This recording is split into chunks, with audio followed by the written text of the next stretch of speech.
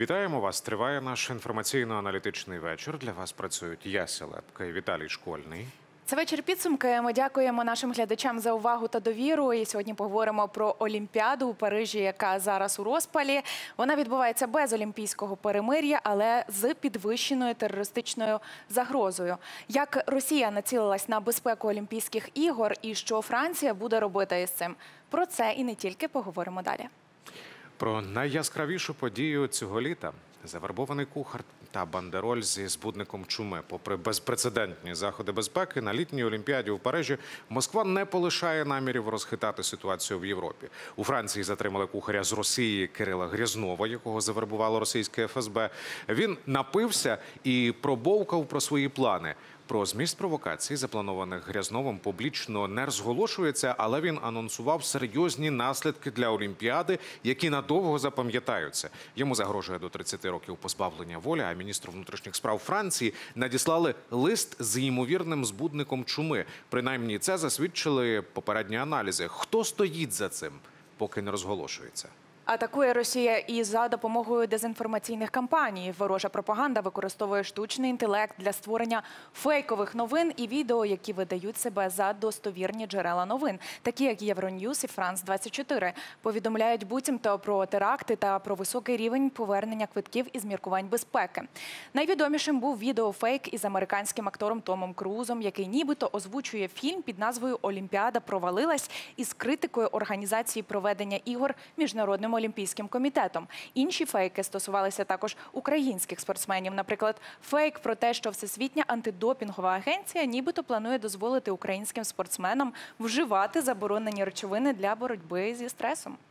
Детальніше про Олімпіаду та всі загрози, які нависли над головною спортивною подією року і останні четвер... чотирьох років, поговоримо із Сергієм Берендєєвим, істориком, правником, а також методистом Українського інституту розвитку освіти. Вітаємо вас у нашій студії. Добрий Е, Пропоную окреслити ось ці основні безпекові загрози, які нависли над Олімпіадою. Вона вже відкрилася.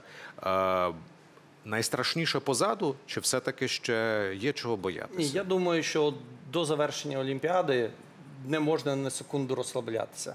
Е, Навіть тут така ситуація цікава, що пан Макрон напередодні Олімпіади дуже багато звертався до України і казав, що давайте оголосимо перемир'я. Але разом з тим він заявляє, що ми 100% знаємо, що Росія буде атакувати Францію під час Олімпіади. Тобто всі знають, де центр зла, де агресор, але таке відчуття, що тільки українців є достатньо хоробрості їм цим агресорам протистояти. Я думаю, нас очікує три напрямки діяльності е, Росії в плані зриву Олімпіади або нанесення якихось збитків. В першу чергу це інформаційна кампанія.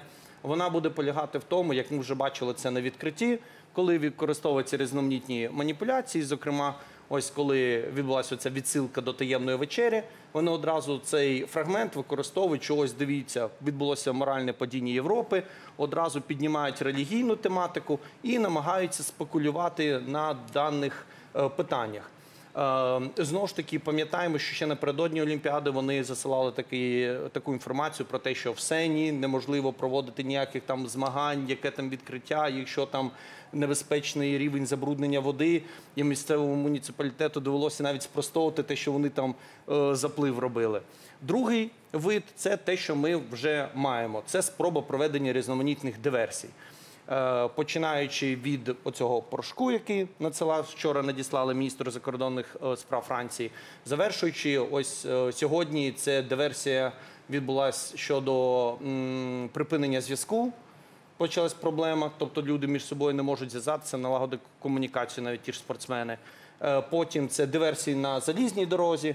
Крім цього е, кухаря, там була ще одна ситуація напередодні Олімпіади, коли дві росіянки намагалися потрапити е, на територію олімпійського містечка. Причому одна росіянка, іншу в багажнику туди намагалася провести, але спецслужби вправно спрацювали. Вони були затримані. Ну і передані з ними там слідчі дії різноманітні ведуться. І третій, ось хоч ця ситуація з кухарем ну, виглядає так е, комедно, але, на жаль, ми маємо в історії трагічну подію, про яку ну, намагаються зараз не згадувати, але можна проводити такі, на жаль, досить приємні паралелі. Це Олімпіада 1972 року в Мюнхені, коли відповідно представники терористичної палестинської організації, там здається, вона Чорний вересень називалася, вбили 11 е, представників е, команди Ізраїлю. І, е, на жаль, враховуючи, які зараз в- у світі є центри напруження, то аналогічні теракти можливі. Причому я впевнений, що ось саме інформаційно так Росія тут буде е, активно втручатися, але ось такі, якщо, не дай Боже, відбудуться якісь теракти, е, то Росія це буде робити чужими руками, заохочуючи якісь свої проксі, оці терористичні організації, з якими вони співпрацюють. Але в принципі на даний момент е, мені здається, французькі спецслужби вони дуже добре підготувалися. Навіть те, що за інформацією, яку вони давали, 4 тисячі осіб не були допущені до Олімпіади. Понад 100 осіб, це які під виглядом хотіли потрапити фізіотерапевтів, масажистів, російських журналістів і тому подібне. Але зрозуміло, що у Росії дуже розповсюджена і розголуджена е, мережа своїх агентів, і які, я думаю, будуть влаштовувати ще не одну провокацію протягом Олімпіади. Е, Насправді про ймовірність теракту під час Олімпіади говорили спецслужби різних країн. Одним із останніх е, з Ізраїлю, вже згаданими, е, вже згадані вами, тому що взагалі олімпійську збірну Ізраїлю її посилено охороняють після, мабуть, у цих так само трагічних подій 72-го. Ну і плюс е, загострення на Близькому Сході, загроза з Ірану від Хамас. Ну і від Росії. Чому Олімпійські ігри, власне, історично вони в полі зору терористів, вони в полі зору країн-агресорів. Е, Вони шукають е, майданчики для того, щоб створити якусь дестабілізацію, щоб показати світу, що навіть оце величне свято спорту воно ніколи не може бути безпечним. Так, тут два моменти. Перший Олімпіада, вона завжди, ну, першочергово, коли П'єр де Кубертен його е, відновив на наприкінці е, 19-го, початку 20 століття, то він подавався як символ миру у світі. І ось е, терористи вони намагаються показати, що жодна людина у світі, якщо е, такий величний захід, який повинен охоронятися, де повинна бути велика е, кількість спецслужб, е, там не може забезпечити відповідну безпеку, то кожна людина у світі не може відповідно на неї розраховувати. Тобто ми доберемось до кожного. І саме тому вони намагаються використати цей майданчик. По-друге, Олімпіада до неї прикута увага всього світу. І тому це можливість на весь світ заявити про якісь свої плани, звернення і тому подібне. І от дуже цікаво, що кол, ем, зараз, коли відбуваються різноманітні е, повідомлення про там підготовку терактів, е, відповідальність за них потенційні беруть участь анонімні е, різноманітні організації лівого спрямування. Тобто, як правило, на таких заходах намагаються навпаки заявити, що ми ось така організація, щоб про тебе всі дізналися. Тому зрозуміло, що цей слід явно веде до Москви, яка це все керує. І до речі, я вважаю, що буде ще одна небезпека, яку ми вже бачили на попередніх олімпіадах. Це пряма провокація е, російських атлетів, які беруть участь зараз, хоч їх і небагато, 15 статусі. у нейтральному статусі, але там ще 35, здається, атлетів. е, Які беруть участь, як е, вони прийняли громадянство інших держав, але це етнічні росіяни. І ми знаємо, що на попередній Олімпіаді такі провокації вони влаштовували. Я думаю, це не буде виключення. Е, Нашій збірній були надані відповідні рекомендації, як себе поводити. Е, Якщо вони потрапляють десь е, під час змагань з такими спортсменами або просто зустрічаються там десь в олімпійському містечку, я думаю, що ми будемо намагатися зробити все, щоб їм не вдалося їх здійснити. Але розумієте, для Росії завжди будь-які міжнародні заходи. е, Вони не є святом спорту або як Євробачення, святом музики. Для них це засіб пропаганди, засіб нав'язати якісь свої ідеї, показати свою велич і тому подібне. Саме тому Ну так, у спорті велич вони показати зможуть дуже навряд чи, враховуючи, що їх не 300, а 15 і під Так. білим прапором. Тобто потрібно їм відігравати, дискредитувати, від, дискредитувати їм. Їм потрібно дискредитувати Олімпіаду. Знаєте, е, ми там не беремо участь, так давайте зіпсуємо свято. Плюс вони це одразу використають як е, засіб для своєї локальної аудиторії, що подивіться, вони не можуть організувати такий захід. А у нас там в 2014-му ось да, вийшло на найвищому рівні. Ось такі ми молодці. І от бачите, Європа слабка, ми сильні. І за рахунок цього вони будуть активізувати людей для якихось своїх е, заходів. До речі, е, російська пропаганда вже каже: от бачите, коли було відкриття, вони там сатаністи, вони псують культуру і тому подібне. Тому наше е, завдання всім об'єднатися, подолати цей захід, але вони це все переносять на те, що вони борються з заходом не на Олімпіаді, а так званій СВО, тобто атакуючи Україну. Ну там вони не тільки вже російська пропаганда відпрацьовує, а й російські інтелектуали усілякі різні. так. Я, от, наприклад, після відкриття Олімпіади читав їхні відгуки, і мені здалося, ми дивилися різні відкриття. так, так. Е, І що ми цілком різні заходи дивилися Так. порівняно з тих оцінок, які вони Слухай, наводять. а на змаганнях, знаєш, це буде як збірна з Північної Кореї, яка постійно виграє всі матчі, на які вони виїжджають, так, так. але потім цих спортсменів чомусь ніхто більше не Так, так, бачить. так, репресують там. Цілком, от е, ви важливу річ е, згадували. Ну і от зокрема про Мюнхенську олімпіаду, яка там відбулася трагедія із е, терористами. Тут хочу підкреслити, в чому відбулося, що держава Ізраїль по тому. Е, Спецслужби держави Ізраїль вони віднайшли кожного, хто вчинив і хто організував. Вони були або страчені, або покарані відповідно до е, чинного закону. Ну, і, в чому і, і, і, з- да, да, давайте. в чому особливість? От ми говорили раніше про терористичні організації, які намагалися нашкодити. А зараз ми говоримо про цілі країни. Змінився підхід е, в цьому. Я скажу, що це проблема міжнародної безпеки. На жаль, зараз у світі немає. Знаєте, завжди був раніше е, світовий суддя, арбітр, який втручався, коли порушувалися міжнародні якісь е, міжнародне право або загальні правила співіснування. На даний момент його фактично немає, і ось такі країни-агресори, як Росія, як е, той же, наприклад, там Іран, Північна Корея, вони відчувають безкарність. І відповідно, поки вони не будуть покарані, то напруження у світі і кількість гарячих тих точок буде з- зростати. Чому? Бо вони зацікавлені в створенні світової напруженості. Але мені здається, знаєте, це дійде до якоїсь критичної межі. Колись в історії була така в стародавньому світі країна Асирія, і в них була столиця Ніневія, таке місце жаху. І там е, всі країни їх просто боялися. Вони були дуже жорсткі, там винищували населення, ну чомусь на сучасну Росію схоже. І в кінцевому випадку вони всі об'єдналися, пішли і повністю їх знищили. Все, в історії такої більше міста не було. От мені здається, рано чи пізно це відбудеться із цими країнами е. На жаль, просто знову ж таки історично нам випала така доля, що кожне століття воно розпочинається з якогось світового конфлікту, тому що правила, за якими люди жили в попередній період, вони вже не актуальні. І формуються нові правила співжиття, які задують тон на наступне. е, другу половину століття. І тому мені здається, якщо, а я в цьому впевнений, ми зможемо вийти з цієї е, е, війни е, переможцями і відповідно задати відповідні правила співіснування, то Україна буде займати провідне місце як європейському, так і взагалі світовій спільноті. Давайте долучимо до нашого ефіру Оксану Мельничук, політологиню. Вона зараз е, на прямому зв'язку із нами. Вітаємо. Доброго дня. Хочу повернутися зараз до Олімпіади. Як ви вважаєте, пані Оксано, Росія можливими дестабілізаційними діями своїми під час е, цього свята спорту у Парижі? Вона націлена на розхитування ситуації в Європі і на підрив е, певної єдності в Європі щодо допомоги Україні також? Ну, ви знаєте, Росія то націлена, да? Але те, що вона робить, це тільки проти неї повертається. Тобто, можливо, вона дійсно, ну е, як я дуже уважно слухала попереднього доповідача, да, мені дуже сподобалася ця відсилка до Ніневії до Асірії. Я навіть повернуся зараз до неї, тому що це дуже важливо в ракурсі церемонії відкриття Олімпійських ігор. Але я вам хочу сказати, що.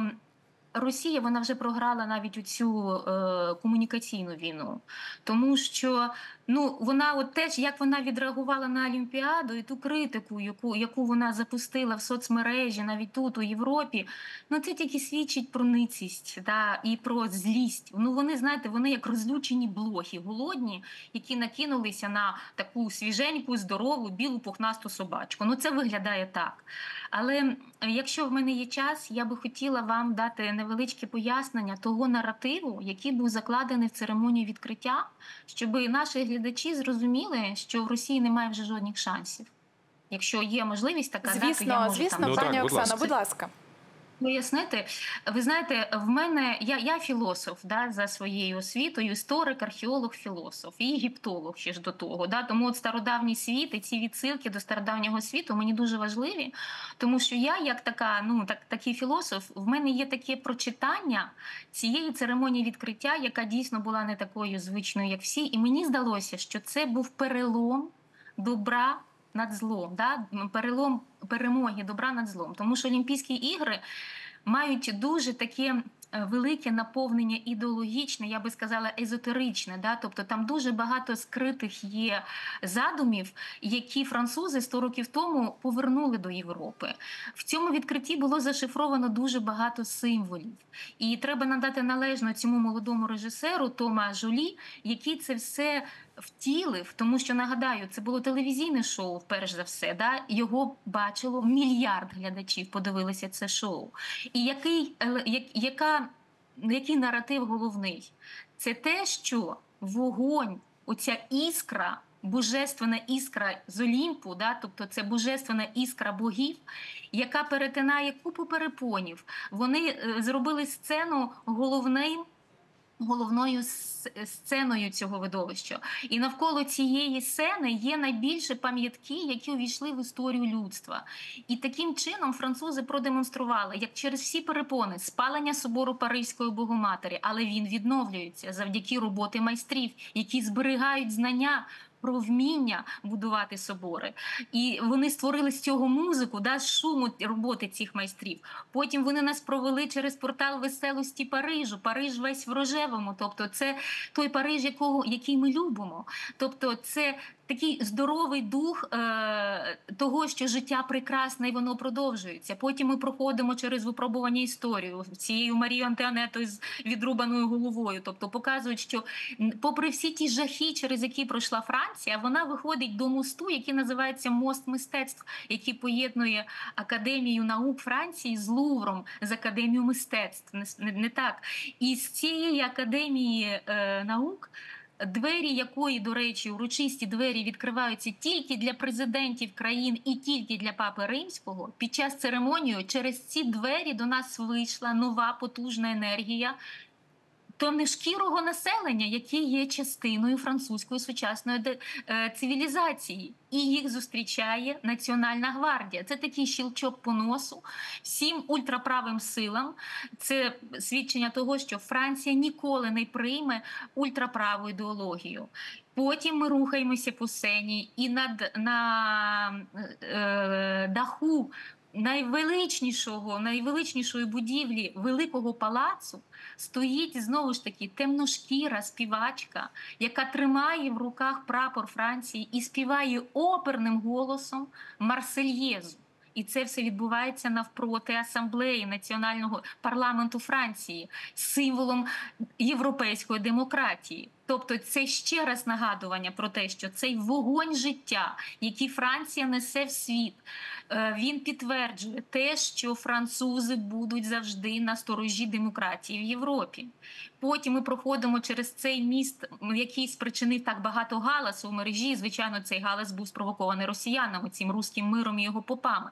Ніякого ніякої відсилки, я вам як історик мистецтв можу сказати, ніякої відсилки до фрески Леонардо да Вінчі там і близько немає. Тому що, по-перше, у фресці там з одного боку тільки сидять гості. Да? Це по-перше. Але по-друге, навіть сам режисер Тома Жолі він сказав: я навіть вгадки не мав про цю фреску Леонардо да Вінчі. Це подіум на, на мосту був величезний подіум. З двох боків якого сиділи гості, і відбувався показ мод, як ми всі звикли сприймати Францію. Це відсилка до цього сучасного Парижу, в свято, яке завжди з нами, і що Франція продовжить це свято дарувати нам. І звичайно, в цей же час оцей вогонь. Е, Олімпійський, який там також в телевізійному шоу він там е, перетинає дуже багато перешкод для того, щоб дістатися до своєї мети. І він нарешті пробігає через свята і святих Францію, і на екрані ми бачимо слово вічність. Він прибігає через Лувр, через е, площу згоди, да, пляс де ла Конкорд, і там стоїть величезна куля. Да, от така. І вони підпалюють цю пулю. Ну ніхто не очікував такого. Під акорди музики гімн любові і дід.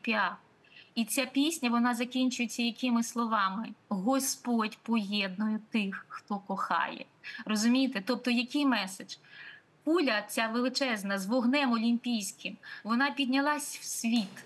Париж дарує, нагадує цей олімпійський божественний огонь, ця іскра Божа світу на тлі гімну любові. Все закін... Навіть Ельфеєва вежа, вежа згасла, вона притамувала подих, коли оця богиня музики Селін Діон, яка, до речі, вже три роки не співає, тому що в неї дуже важка хвороба. І вона співає гімн любові, закінчується це словами, тому що Господь об'єднує закоханих. Ну як це сприймати як не потужна, я би навіть сказала, езотерична таке послання, філософське послання світові, що Франція, Париж є на сторожі того всього, і це самий потужний меседж. І ще треба згадати оцього вершника, який по сіні да летить. Летить вершник з прапором Олімпійських ігор. На прапорі нагадаю п'ять об'єднаних континентів. Знаєте, в нас всі думають, що апокаліпсис це кінець світу, але нагадаємо, апокаліпсис з грецької мови означає від откровення. Тобто французи нам пропонують нові, нове откровення. Нема кінця світу. Є розуміння того, що цей вершник несе на собі ідею об'єднання народів. І, до речі, це те, що і лягло в основу взагалі відтворення, ідеї відтворення Олімпійських ігор. Тобто цей вершник він несеться по сіні, потім він, він е, з'являється вже безпосередньо перед трибунами, де сидить, сидять президенти, запрошені на відкриття. І цей вершник несе прапор Олімпійських ігор. Його зустрічає знову Національна гвардія Франції. Це що означає? Що ці всі цінності війни під пильним захистом військових армій і сильних людей, які в змозі захистити ці цінності. Ось такий меседж я хотіла вам прокоментувати ще на всяк випадок, щоби припинити оці всі інсинуації в соцмережах стосовно все, що погано сказано про це відкриття, це від москалів. Ви абсолютно, абсолютно праві. От, до речі, щодо цієї е, мелодії, щодо цієї музики Селін Діон, я теж дуже раджу переслухати одразу по завершенню нашого ефіру, звичайно, не, не зараз, бо це було розкішно і це було геніально. І навіть ті кадри, якими це було супроводжено, було показано. Той же собор Паризької Богоматері, який відновлюється, це було словом красиво. Пані Оксано, у вас запитаюся ще таку важливу річ, щоб ви відобразили ті, хто хочуть зіпсувати е, свято Олімпійське і Олімпійських ігор. Вони на чому акцентуються? На так званій небезпеці, чи ось на таких якихось скандальних вимишлених моментах, як е, фреска Леонар, як нібито фреска Леонардо да Вінчі, яка була спотворена під час шоу. Е, Ви знаєте, я думаю, що я вам зараз розкажу про безпрецедентні засоби безпеки, які зробили французи, і тому, чому ця чортівня російська повилазила їй просто немає більше місця, як тільки в Фейсбуках, розумієте, тільки в соцмережах вони тепер можуть вилазити. 18, зараз я вам скажу цифри точні: 45 тисяч поліцейських та жандармів, 18 тисяч військових солдатів. 1800 поліцейських, які приїхали з інших країн допомогти своїм французьким колегам, тому що є питання мови, є питання комунікації, да, тобто є питання там сприйняття. Тому там із Африки, з Латинської Америки, звідки, звідки там тільки кого не було. Під час церемонії відкриття 150 кілометрів навколо Парижу було перекрито для повітряних сполучень. Не працювали з 18.30 до півночі, не працював жодний аеропорт Парижу. Чому це було зроблено? Тому що радіус 150 кілометрів це 10 хвилин підльоту до Парижу. Це дає можливість відреагувати, якщо не дай Бог. Не дай Бог, якась шалена ракета чи якийсь шалений дрон залетають до Парижу. Тобто 10 хвилин це 150 кілометрів навколо Парижу, і ППО спрацьовує. Безпрецедентна кількість поліцейських з антидроновими пістолетами. Ми їх всі бачили. Я вам хочу сказати, що я спеціально пройшлася по Парижу напередодні, да, щоб подивитися, як воно все. Ну мені здалося, що поліцейських і солдатів більше ніж глядачів. Ну я себе ще настільки в безпеці не відчувала ніде ніколи. Біля кожного посольства, біля кожної державної будівлі, в метро. Ніколи в метро нікого немає. Боже, і коли є проблема щось запитати, нема в кого спитати. Тут повно волонтерів, які допомагають, розказують. Я так зрозуміла, що є певна група з цих волонтерів, які стежать просто, щоб все було гаразд, щоб не було ніяких інсуняцій. Тобто в цьому питанні все було бездоганно. Більше того, я вам хочу сказати, що дно сени було повністю досліджене водолазами. Була купа водолазів. Було, я вам зараз скажу, е, було 94 кораблі, на яких пливли учасники. Але їх супроводжували. Ми це в кадрі не бачили. Але 86 катерів військових було задіяно, щоб супроводжувати це все дійство. І на цих катерах сиділи снайпери, і сиділи люди, які просто, знаєте, на 360 градусів спостерігали, щоб, не дай Боже, там з трибун нікого, нічого ні- нікуди не полетіло. Тобто, ви розумієте, да? Ну так, ви абсолютно тобто, праві, що ось ці ну, домисли муха про небезпеку розумієте? цілком е, скасовують або цілком спростовують ці факти, котрі ми бачимо навколо підготовки Олімпіади. І, зокрема, те, що ви щойно наве- е, навели про те, як Париж підготувався, як готується, що ми далі побачимо. Пані Оксана, дякую вам за участь у нашому ефірі. Це була політологиня Оксана Мельничук про те. Як Франція підготувалася до Олімпіади, безпрецедентні заходи, і звичайно про символізм, котрий ми щойно почули. Пане Сергію, але ж е, перестороги вони виявилися немарними, і все ж таки був е, затриманий у Парижі росіянин, якого підозрюють у підготовці е, провокації під час Олімпійських ігор. Його також підозрюють в роботі на іноземну державу. Ми розуміємо, що йдеться про Російську Федерацію. Чи могли росіяни скористатися Олімпійськими іграми для того, щоб під прикриттям своїх там журналістів, уболівальників посилити свою європейську агентуру, залишити просто їх там? Так, безумовно. Заздалегідь і, їх і туди навіть завести. дивіться, от оцей же кухар, він же до цього у Франції е, проходив у кулінарну школу, завершив, працював там в одному ресторані Мішелін.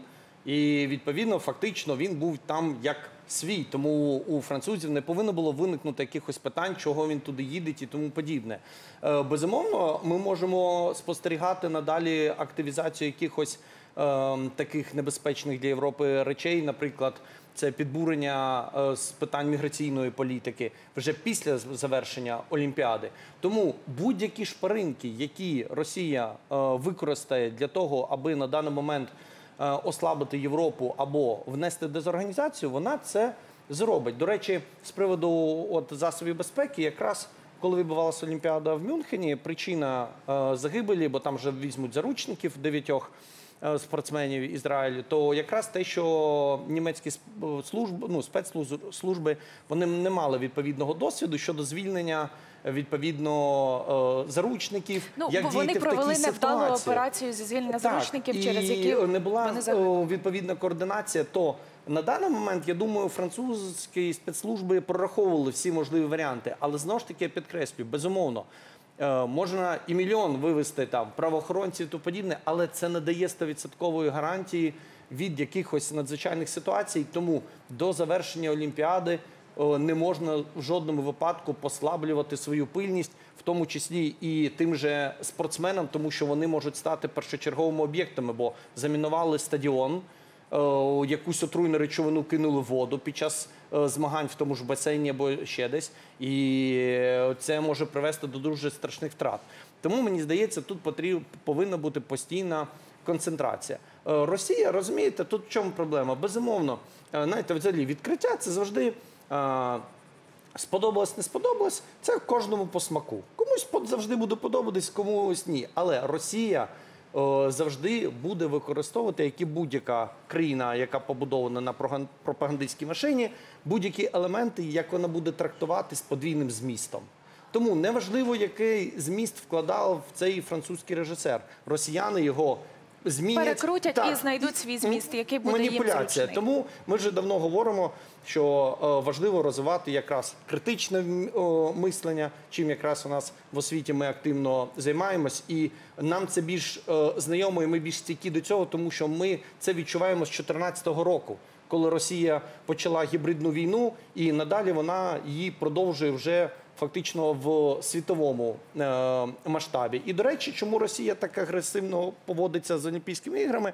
Тому що вони ж казали, що вони їм не потрібні, вони проведуть свої альтернативні ігри БРІКС, які завершилися ну ганьбою. Ніхто туди не приїхав.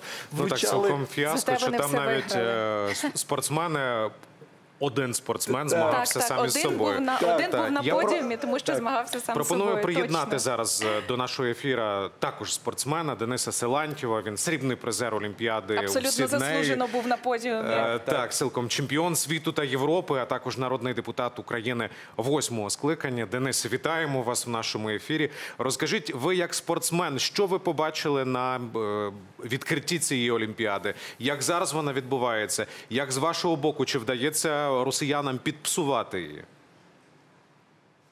Доброго дня. Е, Я не бачив е, повне відкриття Олімпійських ігор, але я на наступний день бачив в інтернеті частини відкриття, і потім побачив, який з цього вийшов хейт е, в Ютубі, там в інших е, каналах. Навіть е, офіційний сайт е, Олімпійських ігор е, в Ютубі і на іншому якомусь каналі він видалив е, це відео, відео відкриття. Але я розумію, що французи вони люди епатажні. Вибачте. Так, так. Ми а легкий блекаут відбувся у Дениса Я думаю, Ну, зараз е, наш учасник ефіру також до нас пере- повернеться, і ми зможемо продовжити До, розмову. до речі, з приводу цього видалення відео, е, як там писали експерти медійні про те, що вони його не видалили, а там просто відбувся якийсь бій. Тому що коли видаляють, тобі відео недоступне. А там доступне, просто писалося ерор, те, що не можна його е, переглянути. І е, повна це була нарізка. Якби найцікавіших моментів. Повне відео було доступне, але розумієте, я ж кажу, е, відкриття воно завжди привертає увагу, тому що дехто дивиться на форму спортсменів. Завжди кожен рік комусь форма збірної України подобається, не подобається. Знаєте, ну тобто, це завжди те, що викликає обговорення. І мені здається, знаєте, я коли дивився о, перед Олімпіадою, було дуже багато таких речей з приводу е, побоювання різноманітних терактів, провокацій, ну так нагніталася доволі атмосфера. Але потім, коли відбулося відкриття, я особисто навіть там от в минулому Твіттері тепер да, X, там є хештеги, і от натискаєш, і там переможці вже хто отримав з- медалі. І ти дивишся, да, це дійсно перетворюється на свято спорту, і всі ці, якби якісь навіть маленькі негаразди, вони забуваються після того, як спортсмени досягають успіху. Ну і нашим спортсменам також бажаємо е, перемог. У нас є потенційні, як на мою думку, е, переможці. От сьогодні Дар'я Білодід якраз у нас там успішно розпочала свій виступ. Першу вже Ну, кваліфікацію перемогла. багато попроходили українські Так, спортсмени. так, До нас повертається Денис. Силантьєв. Давайте почуємо. Ми відновили е, зв'язок. Денисе, от ви якраз завершували на тому, що подивилися бо, уривки і натрапили на хейт, який спалахнув у мережі. Ну да, да, почали е, хейтити, почали висловлювати свої незадоволення. І я також розумію французів, які е, люди епатажні, вони хотіли зробити відкриття Олімпійських ігор не так, як робили всі до, них, щоб вони були е, запам'яталися надовго для всіх. Тому я рахую, що це в них вийшло. Ці відкриття цих Олімпійських ігор запомнять всі, е, хто бачив їх, хто там був. От, тому хто як бачить там відкриття і як від нього відноситься, це вже стосунки кожного до якихось там, переподій. Е, Тому я вважаю, що головне, що відкриття відбулось, що не було ніякі, е, якихось там е, ексцесів, не було нічого такого, що е, могло б людей натрапити на небезпеку. Тому далі будемо спостерігати, е, як будуть виступати спортсмени, щоб все дійсно відбувалося без ексцесів, тому що е, дійсно піднімалося питання, чи вигідно е, росіянам, щоб тут е, зробити якісь е, заходи, щоб дискредитувати, дискредитувати Олімпійські ігри. Я вважаю, що на фоні того, як вони зробили свої квазі-олімпійські ігри в Росії, куди практично ну, навіть з тих, кого вони запрошували, не, не приїжджали люди, і спортсмени отримували нагороди, навіть ті, хто і не приїжджав туди. Тому на фоні того, що вони зробили, вони дійсно хотіли, щоб Олімпійські ігри, які проходять в Парижі, е, також якось себе показали з Ну е, так, пане Денисе. Насправді на Олімпіаді у Парижі росіян та білорусів не сильно також і чекали, але все ж таки е, незначній кількості спортсменів із Росії та Білорусі все ж таки вдалося кваліфікуватися, і вони були допущені в нейтральному статусі. Дивіться, їх буде мало. Вони не зможуть ні 15 піднімати чоловік, 15 Росіян спортсменів. 15, так і не зможуть ні піднімати свій прапор, Е, навіть якщо вони виграють медалі, не зазвучить е, гімн країни-агресорки. М, Символіка не дозволена також ні для журналістів, навіть ні для вболівальників. Це перемога для України. Звісно, звісно, тому що ми ж бачили, що як навіть за рік до Олімпійських ігор е, я виступав, е, багато людей е, публічних виступало на формування е, такого загального відношення до того, щоб не допускати Росію до Олімпійських ігор. Чому? Тому що ну, Росія порушила всі принципи олімпізму, Е, починаючи від подкупу спортивних функціонерів, допінгові скандали, війна проти України це все ті базові принципи, які були закладені, порушені базові принципи, які були закладені е, тою людиною, яка розпочала ці Олімпійські ігри е, П'єром де Кобертеном. Тому що головний принцип спорт і мир. І коли Олімпійські ігри для чого проводились? Для того, щоб на спортивних аренах з'ясовували країни свої відносини і доводили, хто з них сильніший, хто могутніший, а не військовими діями. Тому е, Росія жодним чином не мала права приймати участь в Олімпійських іграх. І багато міжнародних асоціацій спортивних, міжнародних спортивних федерацій, спортсменів заходу в Україні е, на цьому наполягали.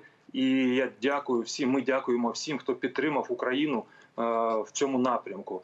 Да, були спортивні міжнародні федерації, які піддалися соблазнам або грошам, або якимось умовам ще і допустили спортсменів в окремих федераціях російських спортсменів та білоруських, які прийняли участь. Але взагалом нам вдалося сформувати е, такий імідж Росії як е, країни, яка спонсорує, яка є спонсором тероризму. До речі, і парламентська асамблея Ради Європи ухвалила в свій час резолюцію про визнання Росії державою спонсором тероризму. Потім цю резолюцію підтримала ем, Європарламент, підтримав. От і е, нам вдалося сформувати е, поняття і підтримку, міжнародну підтримку України. Денисе, розкажіть ще таку важливу річ. Яке значення має участь е, української збірної в Олімпіаді і українських спортсменів? Оскільки на адресу е, в це можна повірити, звучали неголосні, е, їх було мало. Однак звучала критика теж, що нібито і не варто їхати українським спортсменам на Олімпіаду. Чому це важливо? Чому важливо для нашої збірної бути там представлена? Ну, по-перше, це важливо для е, самих спортсменів, які все своє життя поклали на те, щоб підготуватися е, до єдиного свого самого важливого старту в житті е, Олімпійських ігор. Сама присутність, смисл, доцільність присутності спортсмена в спорті, його мета це Олімпіада, участь в Олімпійських іграх. А якщо тобі поталанить, е, і ти зможеш взяти участь не тільки в Олімпійських іграх, а ще й виграти або потрапити в призи, це взагалі е, мрія кожного спортсмена. От це по-перше. Е, по-друге, це все ж таки е, позиціонування, позитивне позиціонування країни, коли спортсмени цієї країни виступають на крупних, самих крупних міжнародних змаганнях в світі. Крупніше немає. От і коли вони представляють країну, коли вони попадають в призи, виграють, то про країну дійсно набагато більше людей узнають, її поважають, і до неї відносяться вже по-іншому. Тому спортсмени це ті люди, які формують саме завдяки таким от змаганням, своїм перемогам, позитивний імідж країни в Європі та в світі. І це важливо, і це потрібно використовувати. Так, дякуємо вам за участь у нашому ефірі. Сподіваємося, що таблиця із призерами якомога швидше оновиться, і ми вже побачимо там і е, золото українське, і срібло українське та винагороди До Олімпійських ігор для добавити- українців. Так. Добавити, що е, в Лондоні е, відкрили інсталяцію якраз напередодні Олімпійських ігор. е, Відкрив інсталяцію, де при цю інсталяцію приурочили до пам'яті тих спортсменів, які загинули в війні з Росією. Там велика кількість, там 487 спортсменів, і не просто е, спортсменів е, такого низького рівня, а спортсменів високого рівня, чемпіонів Європи, світу, які б могли зараз приймати участь і відстоювати Україну, представляти Україну. От тому це ще один привід, який показує, що не можна допускати е, спортсменів країни-агресора, які підтримують цю агресію, які підтримують війну, які можуть і приймали участь в цій війні на такий великий важливий захід. Так, ви абсолютно праві в цьому. Дякую вам за участь в нашому ефірі. Це був Денис Силантів, срібний призер Олімпіади у Сіднеї, а також чемпіон світу та Європи, народний депутат України восьмого скликання. Е, Пане Сергію, Олімпіада, агресія. Одразу е, наштовхуюсь на думки про олімпійське перемир'я. Давайте історично взагалі обговоримо таке явище, яке в принципі, наскільки я розумію, останній час там десь в останній раз десь в античну епоху Так. спрацювало. Ем, далі закликів Макрона дотримуватися цього перемир'я не зайшло. Ем, ми розуміємо, що Росія, власне, вона і є головним порушником олімпійського перемир'я, тому що, якщо не помиляюсь, там двічі чи тричі е, порушувала і безпосередньо повномасштабне вторгнення в Україну також є порушенням олімпійського перемир'я після Олімпіади в Пекіні. Як ви думаєте, взагалі ідея олімпійського перемир'я вона має право на життя станом на зараз, от в тому світорозумінні і в тому геополітичному сенсі, в якому ми зараз живемо? Е, Я вважаю, що ні. У зв'язку з чим? Тому що е, такі країни, як Росія, як там Північна Корея і тому подібне, вони розцінюють будь-яку ідею перемир'я як слабкість. І для себе вони розцінюють це тільки як карбланш для продовження своєї агресії. Ось і все розумієте. Тут абсолютно е, різна парадигма розвитку зараз світу. Тобто є цивілізований світ, а є, грубо кажучи, варварський. І от Росія вона живе за принципами навіть не 19 століття, десь принципами середньовіччя. Ніякі домовленості там не діють. Вони живуть в ідеї, що тільки сила дає тобі можливість е, розвитку. Все. І саме тому я вважаю, що у Росії немає майбутнього, тому що знову ж таки, оце ж повертаючись до ідеї відкриття і взагалі ідеї Олімпійських ігор. Комусь може подобатись, комусь не подобатись. Ми висловили свої думки, обговорили і далі зосередились на Олімпіаді. Для е, Росії це засіб поширення виключно своїх агресивних ідей, агресивної ідеології і спонукання людей до якихось агресивних е, дій стосовно тієї ж нашої держави або е, інших європейських країн. І чому важливо, що Україна якраз бере участь е, у Олімпійських іграх, і це стосується взагалі будь-яких міжнародних заходів, і то теж, коли Євробачення було. Першочергово ми показуємо свою суб'єктність, що ми є як держава, тому що мета номер один Росії знищити Україну як держава, а не те, що вони там заявляють про якісь свої е, фейкові е, денацифікацію і тому подібні речі. Е, Друге, те, що це важлива перемога нашого спортсмена або спортсменки, е, вона дуже спонукає наших військових.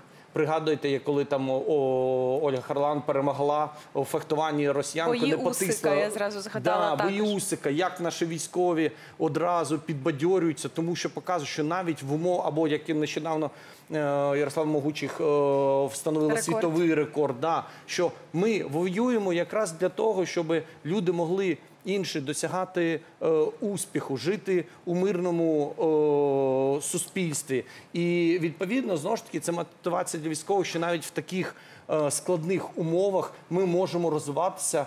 е, Йти вперед і бути частиною світової спільноти, і саме тому я кажу, що Росія вона е, деградує, і фактично, знаєте, такій країні в майбутньому немає місця, вона не виживе. Тому що весь світ, як не крутий, він об'єднаний зараз спільними якимись цінностями, спільними ідеями. І взагалі ідея е, перемир'я, знаєте, якщо не буде таких агресивних країн, як Росія, то відповідно не потрібно буде і перемир'я ніяких оголошуватись, тому що е, Росія, вона ж спонсор тероризму, пан Денис правильно це сказав. Вона фінансує інші о, терористичні організації, співпрацює з ними, з тим же Талібаном. Да? Е, і фактично є е, ну, один з фактично е, епіцентром поширення ось цієї злоякісних таких організацій. До речі, в 72-му році, коли відбулося в Мюнхені ось ця трагічна подія, то були озброєні автоматами Калашнікова. Зрозуміло, що їх не в Палестині виготовляли, що їх Радянський Союз туди поставляв. І тому, відповідно, мені здається, що Олімпійські ігри вони е, повинні завжди все одно нести собі посил.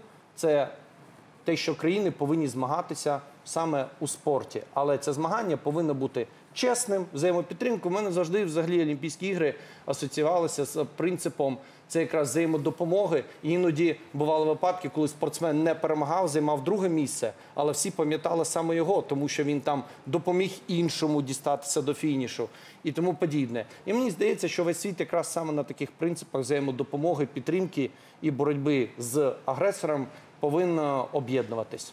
Ну так, і Олімпіада, котра зараз триває, обов'язково буде об'єднавчою. Вона є об'єднавчою для українського суспільства, оскільки ми вболіваємо за окремих наших спортсменів і за українську збірну. Я вам дякую за участь е, у нашому ефірі. Це був Сергій Берендєєв, історик, правник, а також методист Українського інституту розвитку освіти. Так, дякуємо. Вийшла дуже така е, і предметна, і філософська, і натхненна розмова. І ми пишаємося нашою збірною, тому сподіваємося на медалі, вболіваємо всі разом.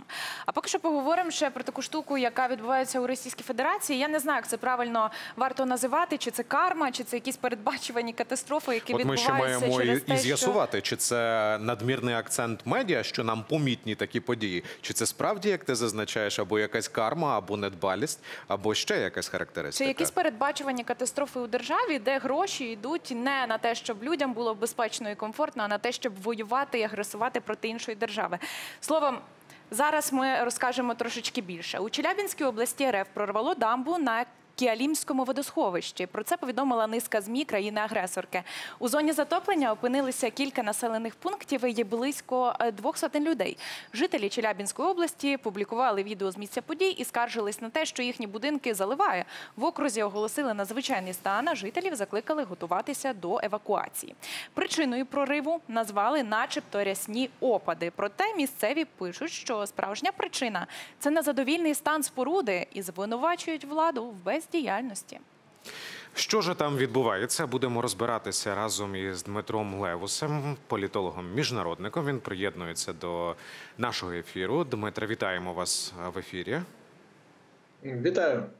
Скажи, будь ласка, от що це розповім таке: 2023 року ми пам'ятаємо, як в Росії масово щось горіло.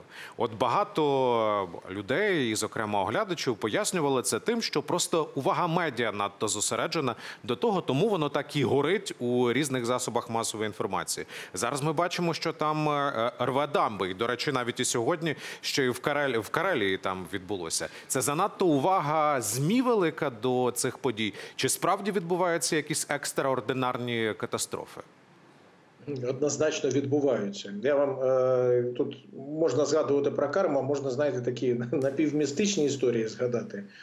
Е, коли е, йшов під свій занепад радянський союз, то е, теж було дуже багато ось таких подібних катастроф. От і вони різноманітного плану були і. Е, Аж до того, що навіть гумористи тодішні говорили, чи то тут бабушки почали питати, чи раніше про катастрофи нічого преси не писали, чи зараз, от е, чи дійсно це свідчення апокаліпсису, що насувається. Да? Тому от насправді е, не через велику увагу, тим більше, що в Російській Федерації. Ну, в, через певні причини намагаються це приховувати. Ми, до речі, можемо нагадати, що Тут бачимо системність саме в гідроспорудах, да, бо е, перед цим же ще був Орск, який залило да, повністю тут. І така, і там, до речі, не тільки Орск, а там в Оренбурзькій області тоді підтопило дуже добре, і аж е, навіть е, підприємства, які працюють на військово-промисловий комплекс, тоді теж. А сьогодні, да, сьогодні ще от якраз історія про 10-11 шлюз на е, Біломорсько-Балтійському каналі, да, на Карелії. Тобто, це все очевидно, що е, підійшло. е, Ну що, що відбувається? Відбувається те, що і повинно було відбуватися. Вся увага Російської Федерації її влади прикута до війни. Туди йде весь ресурс, е, який, е, як з'ясувалося, е, ну той вільний, що є, якщо його не спрямовувати на війну і не ворувати та не, не, красти, тут не, настільки і багато його з'ясовується. Тим більше, що традиційно в Російській Федерації вся все це працювало е, ну, достатньо так слабенько, як е, комунальна житлова комунальна сфера, коли е, взимку ми ж теж бачили, як воно на системній основі, аж навіть у Підмосков'ї та навіть в Москві розмерзалося, вибухало, горіло, і це без війни. Так і е, вся інша ось така критична інфраструктура, але не в умовах війни воно могло працювати, да, бо е, все ж таки якось там і увага була, і е, той ресурс, е, який спрямовується, а він спрямовується. Да, хто б що не казав, чому? Тому що е, ну, е, можна згадати навіть про ці добровольчі так звані частини, які формує кожен е, практично суб'єкт федерації, відправляє їх. Е, Як гроші, які доплачують регіони саме своїм ось цим найманцям, що йдуть на війну в Україну. Е, І е, природньо, що вилазять ось всі ці речі, які були. Ну, де воно там десь трималося, але воно трималося чому? Тому що ну от не було ось цієї останньої соломинки, що ламає спину верблюдові. До речі, така ж сама ситуація із електроенергетикою. Тобто на півдні ми бачили, що відбувається. Зараз, до речі, е, ми говорили з вами, в тому числі про те, як е, виходять вони там на протести, вимагають, щоб не перекривали. З'ясувалося, що ну, вони б'ють по українській електроенергетиці е, роками, да, вже виводять її з ладу. А раптом якісь е, екстраординарні події, ну буквально там пара другого там цих е, прильотів українських дронів по якихось постан підстанціях разом з е, аварією через е, ну, технологічну неспроможність та е, великою спекою призводять до того, що о, дв- два і ці- 2,6 мільйонів людей. е, Ну, насел- голів населення Російської Федерації на півдні опиняються без електричества. Да? Тобто, це ну це зрозуміло, зрозуміло. Тому тут тому це, як на мене, е, якраз симптом, симптом того, що е, себе насправді е, являє Російська Федерація. Ось е, е, така величезна країна, яка все спрямовує на е, війну. Е, Для якої це є важливіше, де роками, десятиліттями е, все це робилося е, так, аби вважалося, що воно є, і ніколи не було прагнення до якості, тому воно все і зношене, і будь-яке. І в умовах ось навіть нереаль такої невеликої кризи, а просто такого зіткнення з е, тим, що вона країна ця веде війну. Е, Воно призводить до відповідних наслідків да, в житлово-комунальній сфері, в сфері гідротехнічних споруд, в електриці. Да. Тобто, ось е, ми, ми бачимо ось цей е, комплексний, поки що не колапс, але така ну, знак того, що, що насправді відбуватиметься з Російською Федерацією, коли війна на її територію зайде трохи глибше і. Е, Ну і вони втя- втягнуться ще більше. І ось тоді, тоді, да, тоді ми побачимо це в повному обсязі. Ну так, пане Дмитре, власне, Росія витрачає колосальні гроші на війну, там, де тонко, там і рветься. Тому жителі Росії поблизу Челябінська, коли їх топило, вони стояли на дахах своїх будинків, чекали на евакуацію і почали якось ніби звинувачувати владу у бездіяльності. Е, Потім ви вже згадали про Краснодар, про Анапу. Росіяни почали виходити на вулицю, просити увімкнути їм світло, дати світло. Ви як ви думаєте, чи можуть умови життя і побут е, стати причиною того, що росіяни почнуть виходити на вулиці, і е, в Росії можуть статися якісь локальні заворушення, які переростуть у великі протести, і чи може це масштабуватися на великі міста на територію всієї країни? Ну е, да, до речі, в Краснодарі прямо сьогодні е, теж працюють або там вчора працюють е, генератори. Да, тобто тут теж е, так то там стабільності так і нема. Ось, але Краснодар ніхто не бомбив, да, так би мовити. Ось і е, так я гадаю, що е, перерости це може в локальне заворушення. Ми, звісно, бачимо, що все рівно ось ця е, психологія віри в доброго царя, бо е, все ж таки звинувачення та лунають у бік е, не центральної російської влади, а більше щодо там місцевих губернаторів і всі ці, всієї цієї сволоти, яка там поближче. Тому, хоча певні так сигнали теж є, да, тобто щодо Путіна, що він не хоче розібратися, або насправді знає, да, тобто, але це поки що ось так. Я гадаю, що е, локальні заворушення можливі, якщо це буде в комплексі. Е, так, вони не переростатимуть в такий е, ну, в системний заколот, да, там, е, з вимогами заміни, змінити все. Е, більш, е, більш ймовірно, що для з таких для системних змін, ну скажімо так, для системного колапсу це має відбуватися в Москві. Е, Можливо, там в Санкт-Петербурзі, ось е, в таких містах, бо ми вже бачили, що якщо воно не синхронно відбувається в кількох регіонах, то поки що у російської влади вистачає і ресурсу придушити, або там якось е, зробити так, або воно загасло і з інших питань. Тому от тут я поки що. Е, Гадаю, що ну навряд чи це зможе перерости в е, такий е, велику пожежу. Е, Тому ну, хоча це не факт, да? тобто ну, я думаю, що я можу і помилятися. Я пропоную розвинути вашу думку. Якось ці е, техногенні катастрофи або природні катастрофи можуть стати внутрішньополітичним чинником е, у Росії. Що має відбутися? Які мають відбутися заходи? Можливо, це е, мають гинути люди, або мають масштабуватися, або до якої межі мають вони масштабуватися, щоб стати чинником е, політики.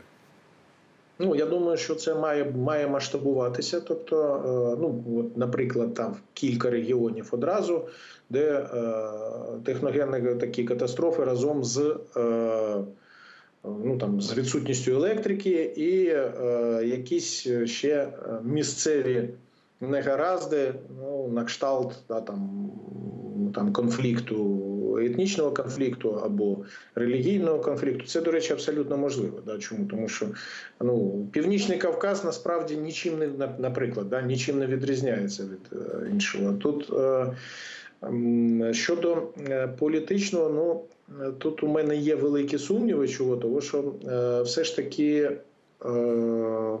поки ну ось е, ці структури, які е, висували там безпосередньо свої вимоги, якісь такі, до речі, дуже такі е, ну, несміливі, як е, Пригожин зі своїм ЧВК Вагнер, да, який був розгромлений.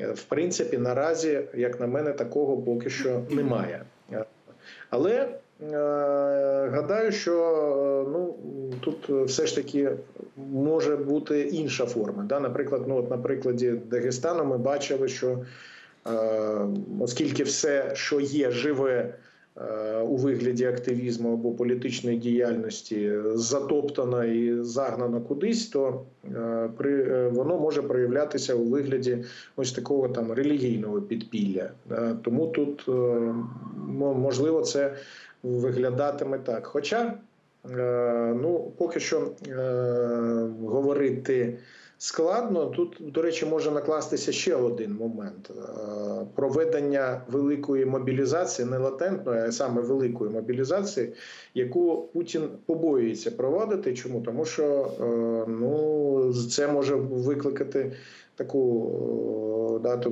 несподівану реакцію.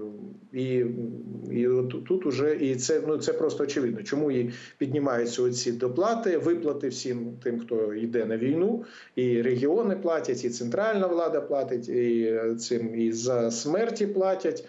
Е, То е, ось це якраз для того, аби вигризти всіх бажаючих і віддалити ось цей момент, е, а він все рівно наближається мобілізації. І ось тут, коли разом з техногенними катастрофами, ось ця мобілізація, яка однозначно буде непопулярною, ось тут тоді да, тоді може бути теж зміна. Так, коли побачимо передусім поєднання цих двох чинників і масові техногенні катастрофи, які ми зараз спостерігаємо не тільки краєм ока, а вже безпосередньо бачимо, і ту мобілізацію, яку можуть оголосити в Росії, от тоді може наступити справжня дестабілізація у них. Дякую вам за участь у нашому ефірі. Це був Дмитро Левось, політолог, міжнародник.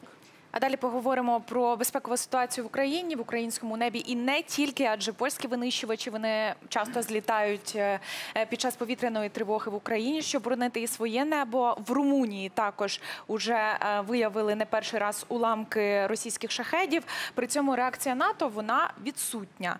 Чи можуть партнери збивати з часом цілі над територією України? Як ми можемо просувати це рішення? Про все це ми поговоримо далі. Сусідні країни дедалі частіше піднімають винищувачі під час російських атак. Під час обстрілу України три ворожі шахеди перетнули кордон з Румунією 25 липня. У міністерстві оборони країни заявили, російські атаки були націлені на українську портову інфраструктуру на Дунаї, але а не на територію Румунії. Тому сили і засоби Міноборони, дислоковані в районі кордону з Україною, не вели вогонь по дронах. Після неодноразових інцидентів Бухарест посилив патрулювання повітряного простору. Прем'єр Марчал Чолаку переконує, що жодної небезпеки для громадян немає, хоча ворожі об'єкти вже падали на території Румунії. Про це детальніше поговоримо у нашій студії зараз. Олексій Гетьман, військовий оглядач, а також учасник російсько-української війни і майор запасу. Пане Олексію, вітаємо вас в нашому ефірі. Скажіть, ось ці заяви Румунії, от зокрема про цей е, безпілотник. Я ще читав, що вони не от як пояснювало Міністерство оборони, ми не можемо вести вогонь по території України. Настільки це обґрунтоване пояснення? повністю не обґрунтовано. Справа в тому, що президент України, як Верховний Головнокомандуючий, звертався до наших сусідів, в тому числі до Румунії, в тому числі до Польщі, е, про те, що е, ми не тільки е, просимо збивати повітряні цілі, пробачте, над нашою територією, ми навіть гарантуємо те, що якщо, борони Боже, якийсь уламок впаде від вашої ракети чи від збитої ракети росіян і завдасть нам якусь шкоду, ми не будемо мати жодних юридичних претензій і моральних претензій до вас е, в будь-якому випадку. Е, Чому вони не хочуть цього робити? Ну, ви знаєте, е, є дипломатична мова, є ну, Кулеба, є Зеленський, є люди, які, мають поводити себе максимально толерантно і не робити якихось висловлювань, пробачте, які можуть хоч якось образити наших партнерів, які нам дійсно допомагають. Це дуже важлива допомога. Але в, в- всередині, от, е, аналітики на кшталт мене, ну чому ми маємо е, шукати якісь слова, коли е, є речі ну, для нас цілком вочевидь. Ну, по-перше, хочеться передати привіт румунам, що це не перший раз залітає на їхню територію. І ви для початку вирішите питання, чи будете ви збивати ракети чи шахеди над своєю територією, чи вам страшно? Бо це ж російська ракета. Чого ви такі перелякані? Подивіться, е, ми стримуємо цю навалу вже третій рік, і не така страшна Росія, як вам здається. Ну ви продовжуєте бояти, боятися, ну бійтесь далі. Е, Ви нам допомагаєте, але збивати ворожі, незаконні, ці, не ворожі, просто незаконні повітряні цілі над територією суверенної України, ми маємо право вас про це просити. Це не є це не напад на Росію, це не є порушення якихось мір. І дивіться, тим паче, що вони летять в сторону якраз таки цієї країни, Тим- тим яка більше. Ну, пригадайте Ізраїль, коли атака була на Ізраїль, як піднялися, е, скільки літаків піднялося, скільки засоб протиповітряної оборони повітряної і наземної, і нищили е, ворожі цілі не на території Ізраїля, без ну, розуміємо, Ізраїль більш маленький, але сам факт, що і тим більше, що ми це просимо, ми це дозволяємо. Ну, але вони е, продовжують розповідати, як вони хочуть нам допомогти, і ми там е, дуже сильно е, з ними ведемо дуже багато часу перемовини про те, щоб передали якусь зброю, той самий Петріот чи ще щось. Слухайте, якщо б ми з вами, якщо ви візьмете на себе відповідальність знищити повітряні цілі над нашою територією, над, на заході нашої країни, то ми ці комплекси, які знаходяться там, можемо перемістити е, більше на схід і там е, захищати Харків, захищати Київ, захищати е, Трипілля, е, ТЕЦ, яку зруйнували. Ну, якщо вам і досі страшно, ну тоді, ну що вам сказати? Ну тут питання в тому, що ви даруй, що має статися в оцих сусідніх країнах, е, щоб вони все ж таки побачили для себе загрозу і зрозуміли, що легше просто збивати е, цілі ще над Україною. Тому що пам'ятаєте у Польщі, е, коли ракета, ракета, так там були люди, загиблі. Да, да, були загиблі. Але були розмови, що це наша ракета, потім з'ясувалося, що це ну, зенітна, що це ні.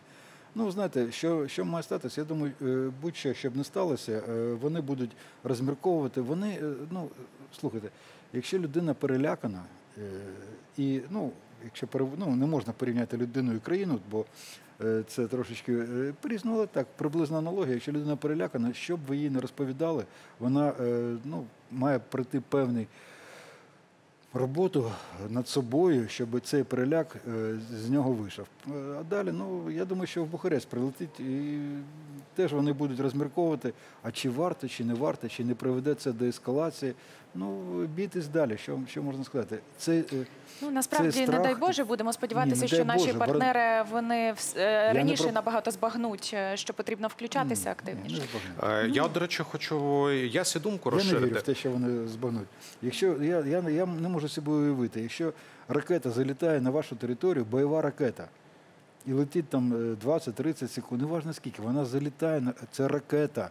Це не е, турист, якийсь помилився, там Ну, а пілот. вони чекають, поки ви вона бачили, в розвернеться, четвер так. Міністерство оборони Румунії опублікувало кадри, як виглядало от місце, де Тоді, або да. чи впав шахет, чи він там уже дістався до цілі і взірвався. Ну то ж була суцільна випалена з- е, земля. Да, тож це- уже е, ну не сухий якийсь е, цей обломок, шматок, а просто випалене цілковите поле. Дерева горять, трава горить, усе горить. Я- Як ви думаєте, я кого так- треба переконувати? Румунське суспільство чи румунське міністерство оборони і політичне керівництво? Що така, потрібно є така притча да, е, про те, що е, е, толерантність перевернута навпаки, таке збочена е, толерантність, коли е, да, вороги, там, бандюки насилують вашу дружину, а ви стоїте поруч з кроваті і кажете, потерпі, родна, може все обійдеться. Якщо ви поводите себе таким чином, е, заховатися під, під ковдру і думати, що воно минеться, не минеться. Про це кажуть багато людей в нашій країні за кордоном, про те, що Росія вона 20 років готувалася, і зараз це не напад на Україну, це намагання розширити кордони України, це експансія, е, в тому числі в Європі. Переконати суспільство, ну ви знаєте. Керівництво в Румунії, в будь-якій країні, воно залежить від думки суспільства. Мені здається, що е, коли е, ми бачили аналітику колись, е, зараз вона вже трошечки по-іншому виглядає в Німеччині, коли дві третини людей по великому рахунку не підтримували допомогу і зараз не підтримують передачу Таурусу, наприклад, нашій країні. е, 505 тисяч касок е, часів Другої світової, ми це пам'ятаємо. І тоді ну, ми могли скільки завгодно переконати Шольца, він в душі мог бути з нами е, згоден, але він має робити так, як хоче і, і люди, громадяни його країни. Тому швидше за все треба переконувати не керівництво. Ну не треба. Вони будуть, вони будуть знаходити такі е, відповіді, що ну, просто, ну, як кажуть, на голову не налазить. Треба, щоб е, суспільна думка в Румунії, в Польщі, в інших країнах була така, щоб е, інші дії, не захист нашої країни, не використання зброї проти цілі, які летять в вашу країну, було неприпустимо. Коли буде таке відчуття всередині країни, то е, будь-який керівник він не зможе піти, піти в розріз з думками е, громадян. І зараз він не може пі- піти в розріз, бо багато хто завдяки російським телеканалам, завдяки російській пропаганді, завдяки російській складовій інф- е, гібридній війні, як інформаційна складова, вони досі переконують, що це якийсь там локальний конфлікт. Ну от на жаль, е, це, це реалії. Е, Ну що, що, ваш канал, інші канали. Мені здається, що дуже важливо е, робити стосунки, збільшити стосунки на такому, як то кажуть, горизонтальному рівні. Не щоб ну, керівники, там, депутати, дипломати спілкувалися, щоб люди, звичайно, спілкувалися. Я думаю, наші люди, кияни, там, харківчани, сумчани, вони, якщо б могли, ну я не знаю, яким чином. Телемости колись навіть були. Може таке спробувати влаштувати, щоб вони спілкувалися, щоб люди побачили, що відбувається насправді, а не те, що е, перевирають російські пропагандисти, а потім якісь їхні канали підхвачують. Я розумію за хороше фінансування. І щось таке, ну там десь щось таке трапилось. Ні, там іде найбільша війна в Європі з часів Другої світової. Найбільша. Майже мільйон армій російська. Е, Нічого собі.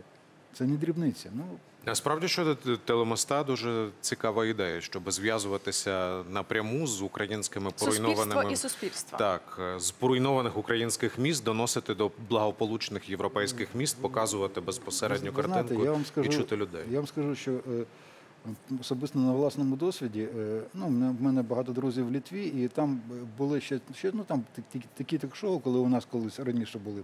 І вони влаштували такий наш теле- телевізійний міст, був я, там ще одна людина з України. І ну, це, ну, це вже е, ще в минулому році, до речі. Це не, не так, не, не скажу, що ще нещодавно було. Ну, півроку тому, скажімо так. Е, І е, те, що вони е, почули люди е, від нас, е, те, що вони, які вони питання задавали, доволі тривало. Майже годину була е, програма ця. Питання були ну, взагалі такі, що. Ви розуміли, що вони не сенсі? орієнтуються Вони- вони в ну, ситуації? Ну, наприклад, е, давайте е, декілька е, два питання, які мене просто приголомшили, я не знав, що на, на них відповісти. А потім закінчимо. Тому що перше, чи підвищиться сексуальність людей під час бойових дій і обстрілів? Так і ставить. Чи підвищиться сексуальність людей, сексуальний потяг? Це перше, що я просто знаєте, не знаю, що сказати. І друге, з таким, знаєте, з таким трепетом в голосі. А ви вбивали людей? Ні, ми квіточки роздавали. Тобто люди настільки е, далекі від. е, але в, в кінці вже передачі вони потрошечку, ну потрошечку я бачу, що в них змінювалось, е, ну, вир, принаймні вираз обличчя. Тобто, е, це е, чим це закінчилось, е, чи яке це мало продовження? Е, Я на початку року вже був е, запрошений до Литви. Вони, вони досі працюють бібліотеки, розумієте? І вони, вони збираються у нас в клубах і не в бібліотеках. Дуже цікаво. І там було ну, з десяток зустрічей, вільно, Клайпеда. е, е, І приходили люди і от продовжували в, в такому напрямку. Я не є офіційний представник, і я розповідав те, що я е, ну там була презентація, до речі, книжки е, про е, де вони вони випустили книжку, де зібрали висловлення про війну багатьох наших 50, по-моєму, наших авторів різних. Тобто, ну про різне там про, про Бучу, про і от це була ще презентація книжки цієї. І от е, питання, які вони задавали, і е, так як після зустрічі е, розуміння їхнє про цю війну, воно трошечки змінювалось. І, до речі, е, вибачте, що я трошечки е, уходжу в бік, е, що найбільш сподобалось, коли почали розмови, що от ви члени Альянсу, члени НАТО, ви не хвилюєтесь, типу, у вас все буде може бути добре. Після нашого. Я не кажу, що це завдяки мені, але це дуже приємно. Може, в тому числі хоч на крапельку. Вони кажуть, знаєте, що ми, що ми думаємо? Ми, от той, той німецький під, група, яка має там військовий підрозділ, який має зайти там, ну там були розмови в Литву для захисту нашої країни в випадку агресії. Ми ж розуміємо. Я думаю, Ну, я тут який головний? Ви, Я, виріжу, я думаю. е, зроблю що- висновок. що Який ваш головний посил? Що потрібно працювати з суспільством? Що вони кажуть? Вони кажуть, е, посил, так, хвилину, ні більше. Е, Німці приїдуть, якщо щось почнеться, вони одразу їдуть. Ми це розуміємо.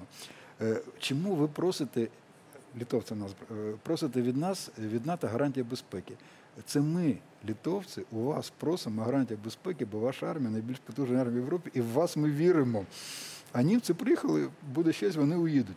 Я розумію, що це може не зовсім Ну, політкоректно, але ну, дивіться, це, це факти. історія в тому, що е, доносити думку, Так. доносити реальну ситуацію. Це Ну, треба- той момент, треба- коли вода камінь точить. Єдине, що у нас немає стільки часу, і ми маємо звертатися, мені здається, до наших партнерів безпосередньо. Ми вже говоримо їх. Будь ласка, допоможіть Слухайте, нам. дивіться, в мене є е, друзі, ну на е, такому серйозному рівні депутати е, е, в Літві. Я думаю, що у вас, чи у вас є в Польщі, в Румунії. Ну можна їхати.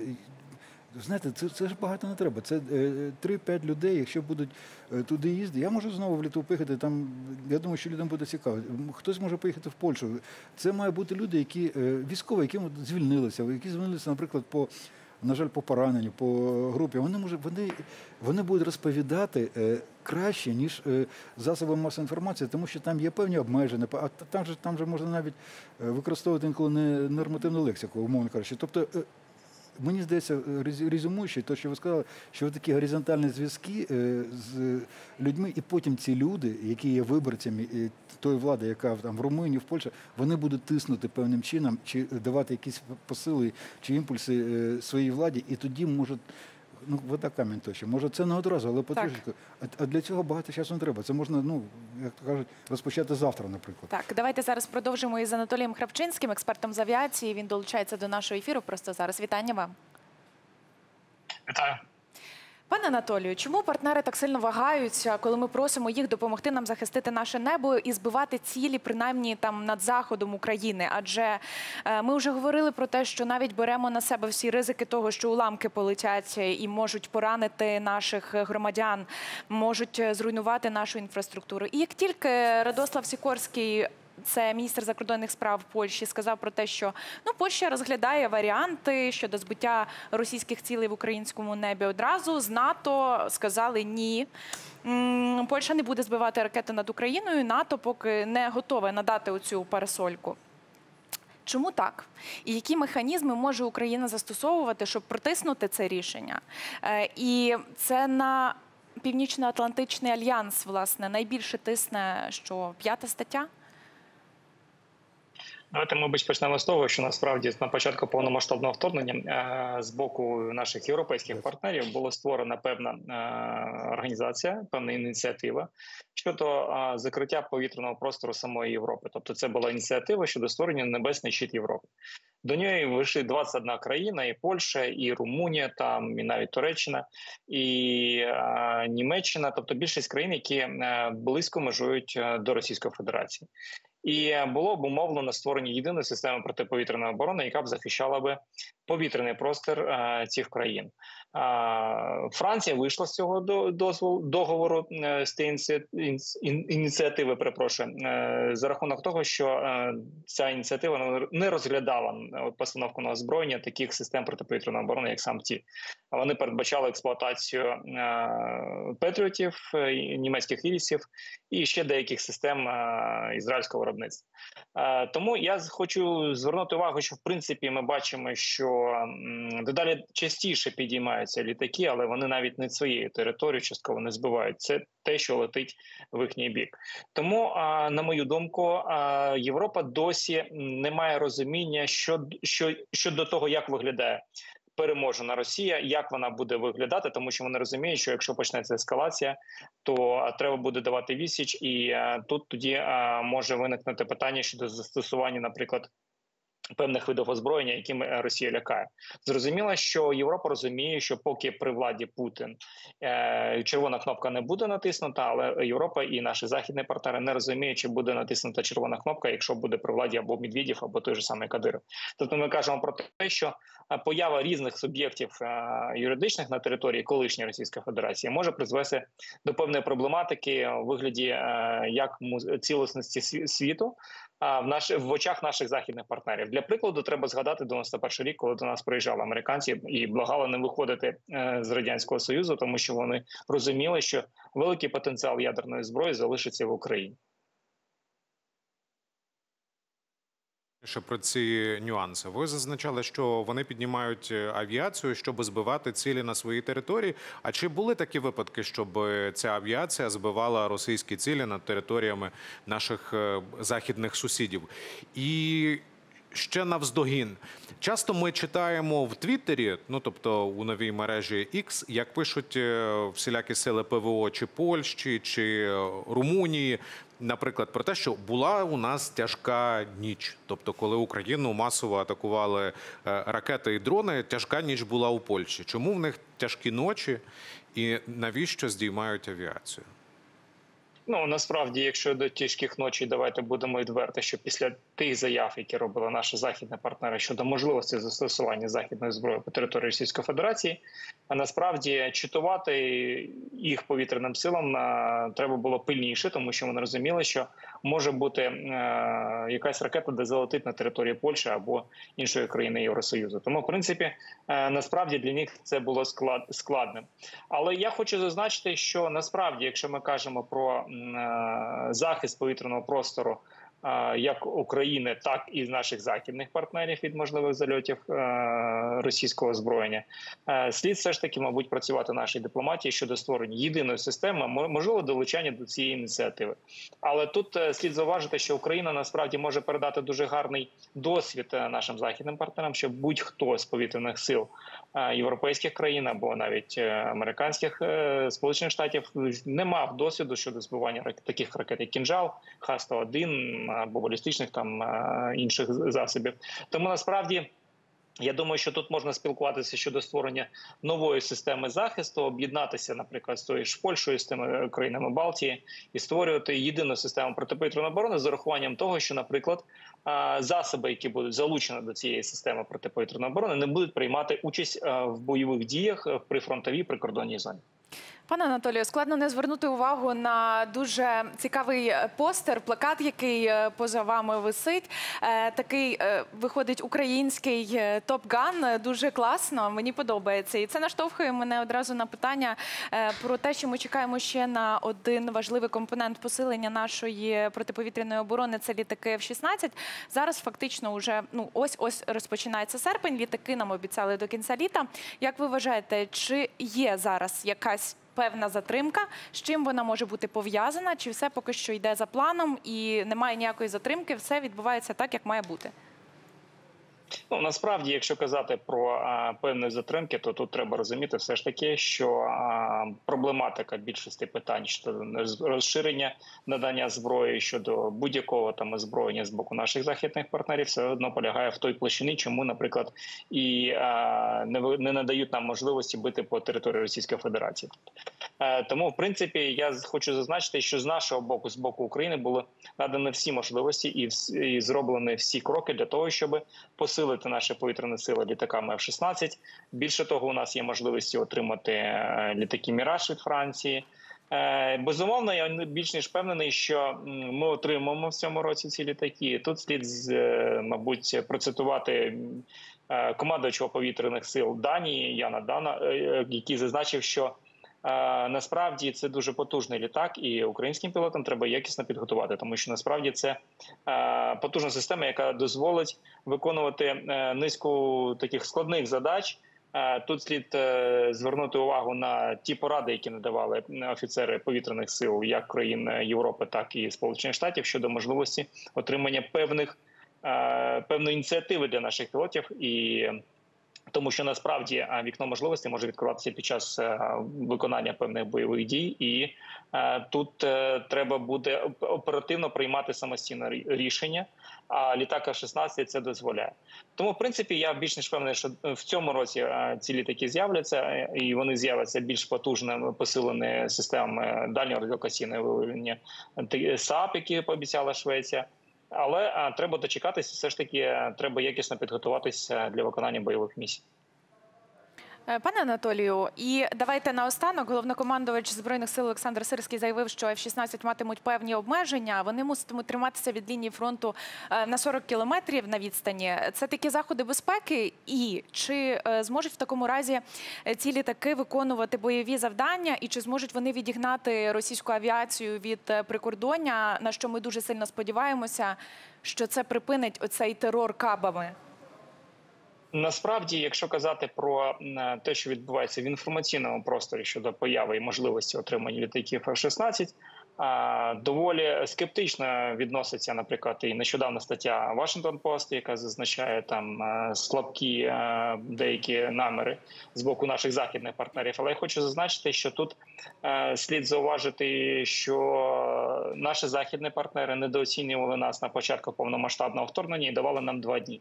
Тому я думаю, що ті можливості, які є у літаків F-16, завдяки нашим пілотам, е, значно розширяться і покажуть е, зовсім іншим е, інші їх е, характеристики і потужність е, використання саме українськими пілотами. Е, Безумовно, слід е, зауважити, що все ж таки треба якісно готуватися, але я більш ніж впевнений, що ці літаки будуть задіяні як на території е, тимчасово окупованої України, так і на території Російської Федерації, тому що певні дозволи є, і можливості е, з появою більшої кількості літаків будуть значно більше для виконання е, певних задач. Безумовно, пане Анатолію, віримо у наших е, пілотів е, і розуміємо, яких зусиль вони докладають. Е, Дякуємо вам за участь у нашому ефірі. Це був Анатолій Храпчинський, експерт з авіації. Розширю думку Ясі е, щодо передачі Україні літаків F-16, пане Олексію, до вас. Якраз от е, впродовж думки е, пана Анатолія, Так. більше 25 країн мають на озброєнні, ну це вікіпедійно. І вони знаходяться, ну давайте, це швидко. Аргентина, Бахрейн, Бельгія, Венесуела, Греція, Данія, Єгипет, Ізраїль, Індонезія, Ірак, Йорданія, Марокко, Норвегія і так далі. Оман, Пакистан, Південна е, Корея. Слухайте, е, ви навіщо ви нас ображаєте? Яким чином е, пілот, наприклад, з- Марокко без бойового досвіду може бути більш фаховим пілотом, ніж наш пілот, який має три- 300 бойових вилітів? Що це за таке? Греческі пілоти, які там взагалі, ну не хочу казати про Грецію, про їхні сидять на дотації, е, їхні пілоти е, краще. Об'єднані Арабські Емірати, їхні у нас що, якісь не такі пілоти? Ми, коли отримуємо е, зенітно-ракетні комплекси Петріот, ми використовуємо їх краще, ніж використовують ті країни, на яких на збройні стоїть. Е, Люди зі Сполучених Штатів військово кажуть, що ви краще використовуєте ці ЗРК, ніж наші люди, які все життя. Ну, тобто ви швидко вчитеся, у вас доволі високий рівень освіченості і технічного фаху. А з пілотами щось не те. У нас не такі пілоти, які збивають російські літаки, які роблять бойові виліти. От коли це чую, що щось не так з нашими пілотами, ще раз, 25 країн мають на озброєнні, і такі країни, які не знаєте, особливо мені сподобалось Пакистан і Марокко. Тобто пакистанські і марокканські пілоти більш е, фахові, ніж е, українські пілоти. Ви, ви це серйозно? Про F-16 як чинник. От тут уточніть таку річ. Е, Міністерство закордонних справ е, Росії, зокрема їхній міністр Сергій Лавров, заявляв, що передача Україні літаків F-16 вони будуть сприймати як передачу носіїв е, ядерної зброї. Очевидно, що ось ось літаки вже будуть в Україні, або вони вже є в Україні, як там пліткують в тих же російських мережах. Чи таке. зніметь от поява українських літаків, коли ми самі зможемо побачити їх в українському небі? Ось цю несміливість наших західних союзників і їхні оці обмеження або самообмеження, які вони встановлюють. Ну, хотілося б е, самообмеження ці нашим союзникам передати е, знов таки чергову лякалку з боку носії ядерної зброї. Ну, ядерну, е, А взагалі F-16 е, носії ядерної зброї, як от Лавров розповідає. на- ну, Я два- щось не чув. По-перше, нашим партнерам з приводу того, що чергова червона лінія. Слухайте, а вас е, чим вас тільки не лякали? І якщо вас вам постійно чим чимось лякають, а потім це не відбувається, і вас наступний раз лякають, е, майже тим самим. Ви знову лякаєте, ви що, що ви? У вас імунітет не виробляється? Мені здається, це дуже Ну, слухайте, перестали ж якось ніби вже аж так активно боятися і реагувати на е, оці ядерні погрози регулярні. Ні, ну, Е, з ча- розумієте, проблема в тому, ви розумієте, що проблема в тому, що ми ці рішення отримуємо з річним запізненням, але ми їх отримуємо. Це, Як зробити так, щоб не втратити Авдіївку, але дати зрозуміти, що допомогу треба було раніше дати. Це неможливо інакше. Ну, мені здається, що е, можливо, але знаєте, один приклад, другий приклад, третій приклад. е, Скільки можна прикладів, ну то таке, то от правильно казав колега, що треба працювати більше. Ми казали про горизонтальні зв'язки, а тут треба працювати дипломатія. З приводу, з приводу носіїв ядерної зброї. Ну слухайте, ну е, ці люди, ну вони ну, ну чому не може вийти, хоч якась людина, хоч з якоїсь напіввійськової, напівтехнічної освіти, сказати цим людям, які б цього прилікали, сказати наступні слова. Шановні, будь-яка крилата ракета, Storm Shadow, Скальп, вона Х-101, Х-555, кінжал, калібр, вона може нести бойову частину ядерну. Тобто ти просто береш і ставиш ту ядерну бойову частину. І все. Всі крилаті ракети вони е, розроблялися під тактичну ядерну зброю. Іначе навіщо вони потрібні? Тобто Чи е, е, можна розглядати як е, F-16 як носій зброю? Звісно, можна. Тільки просте питання. А зараз ми запускаємо е, скальпи і Шторм Shadow з яких літаків? Не з F-16? Ні. А не можуть бути носії ядерної зброєю? Ні. Чого причепилися до F-16? А навіщо вони взагалі переводять ці дискусії в ранг ядерної зброї? Все про що не йдеться, то ядерна зброя. Я, до речі, от підписаний на російські е, державні інформаційні агентства. Ну слухайте, по роботі мені розумію, треба. розумію, Раз на десь раз на чотири дні вони публікують якусь там їхній ярс, десь він їздить. Ну що вони постійно Хай посилаються на цю. хай їздить. Це єдиний, єдиний аргумент, який в них залишився. Тому казати про те, що F-16 носієм ядерної зброї, я вам скажу більше. Ядерна зброя може є навіть снаряди з, е, невеличким зарядом, е, ядерним зарядом. Є навіть артилерійські. е, е, Я вам скажу більше, на наш Нептун теж можна поставити ядерний фугас. Е, Це слухайте, ну дивіться. Є- Зараз є- буде заголовок ядерні погрози від е, Зараз майора ті ж Гетьмана. російські державні Є, агентства дивися. наслухаються нашого ефіру. Хай. Є, є, є, є бойова частина в будь-якій е, ракеті. Да? От є е, сама рак- корпус, да, є двигун, є е, головка самонаведення і є відсік, де знаходиться бойова частина. Тобто це контейнер, простіше кажучи. Ви туди можете покласти, що можете покласти цукерки, можете покласти ядерну зброю, можете нічого не класти. Це взагалі ні на що не впливає. Вона все одно буде так само рухатися. Єдине, щоб вага була е, така, яку вона може підняти. Все. Що це за розмови? Це носій ядерної зброї. Ну, ну, ну, на кого це розраховано? На людей, які взагалі там десь. е, А з нами також Ігор Романенко, генерал-лейтенант та засновник благодійного фонду Закриємо небо України. Вітаємо вас. Вітаю вас. Пане Ігорю, е, коли Росія ем, нібито випадково потрапляє, залітає на територію е, держав НАТО, коли шахеди, уламки шахедів падають в Румунію, ракети кружляють над Польщею. Чи може Росія таким чином випробовувати реакцію, е, промацувати ґрунт, так би мовити, і розвідувати, думати, побачимо зараз, чи буде якось гостро реагувати альянс на це, чи як завжди, ми просто ну спробуємо і побачимо, що буде. Путін завжди е, ну, зі своїми апаратами, роз- розвідкою вивчає слабкі е, чутливі місця е, в керівництві союзників, країн НАТО, наприклад, і використовує. Тобто Два напрями це ескалація і застосування ядерної зброї. Можливо, ви це розглядали.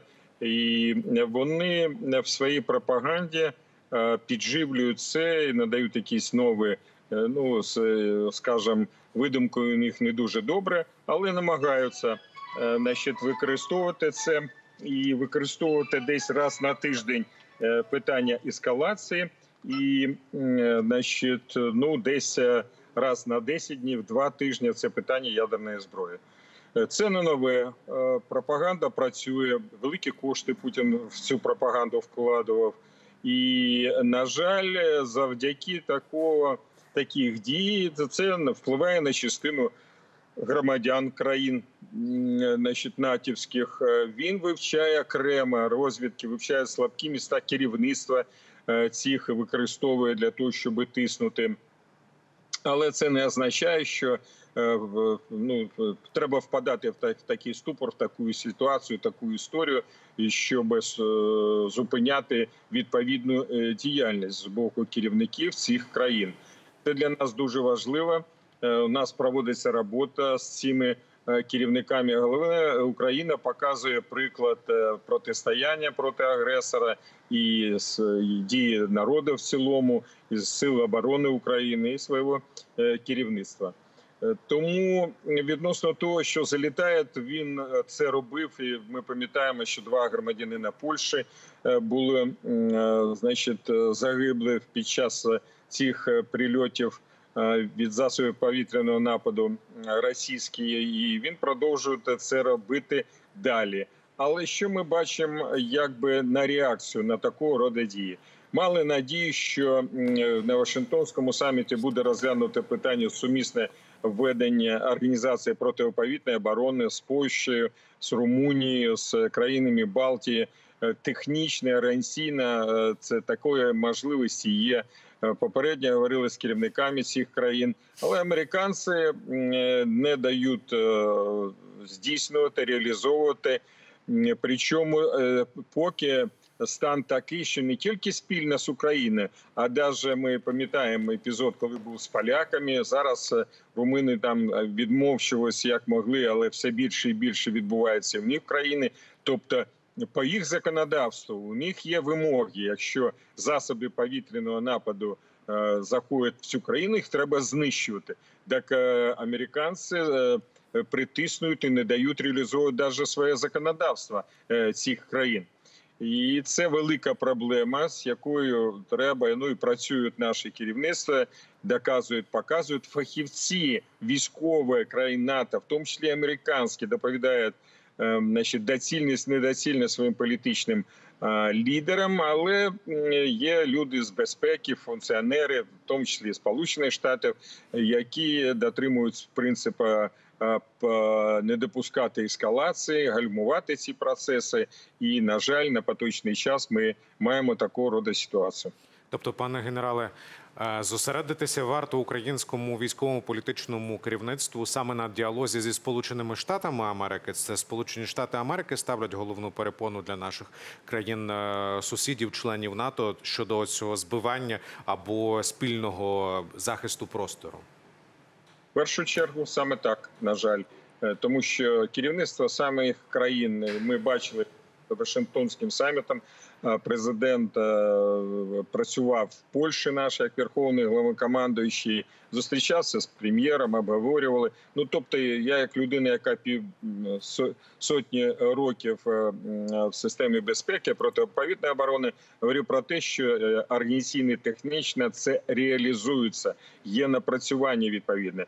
Але з боку американців, значить, ну підхід пов'язаний з тим, що це може привести для подальшої ескалації, тому е, на поточний час робити е, недоцільно. Більше того, вони тиснуть на керівництво цих країн, щоб і саме вони не збивали. Тобто є засоби, піднімаються, наприклад, в Польщі літаки F-16, як Польщ, як польські, так і американські.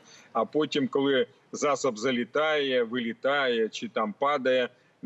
Примушують чергових там відповідальних генералів польських говорять про те, що чуть ли не вони знали, що що от там то, що залетіло, він знав, що вона вилетить знову на територію України. Ну це ж абсурд. Е, Тобто політичні, е, політичні керівники примушують військових е, ну говорити явно значить, заяви робити, які не відповідають дійсності і не є професійними. Це є проблема, над якою- треба працювати. Займається наше керівництво, але час іде, а зрушення в цьому напрямку поки ще немає. Ну так, ви цілком праві. Ми сподіваємося і віримо в те, що українське військово-політичне керівництво знайде правильні слова, і зрештою нас буде почуто і нашими ближніми західними союзниками, і далекими західними союзниками, тобто територіально далекими Сполучених Штатах Америки. Дякую вам, пане генерале, за участь в нашому ефірі. Це був Ігор Романенко, генерал-лейтенант, засновник благодійного фонду Закриємо небо України. А я зараз додам інформації про такі новації в озброєнні, які зараз е, наші, наші солдати опановують, Е, бити потрійними ракетами, які летять зі, зі швидкістю втричі більшою звуку, вчаться українські воїни у Великій Британії. Вони опановують Starstreak. Це британський переносний зенітно-ракетний комплекс, який допомагає захистити небо від ворожих атак. Ракета з такого комплексу може кілька разів вразити ціль завдяки своїй системі із трьох снарядів, схожих на дротики. Е, Пане Олексію, ось такі е, е, нові якісь варіанти озброєння, які пропонують не нові. Тобто ми вже використовували щось Ні, подібне такі, на Starstreak?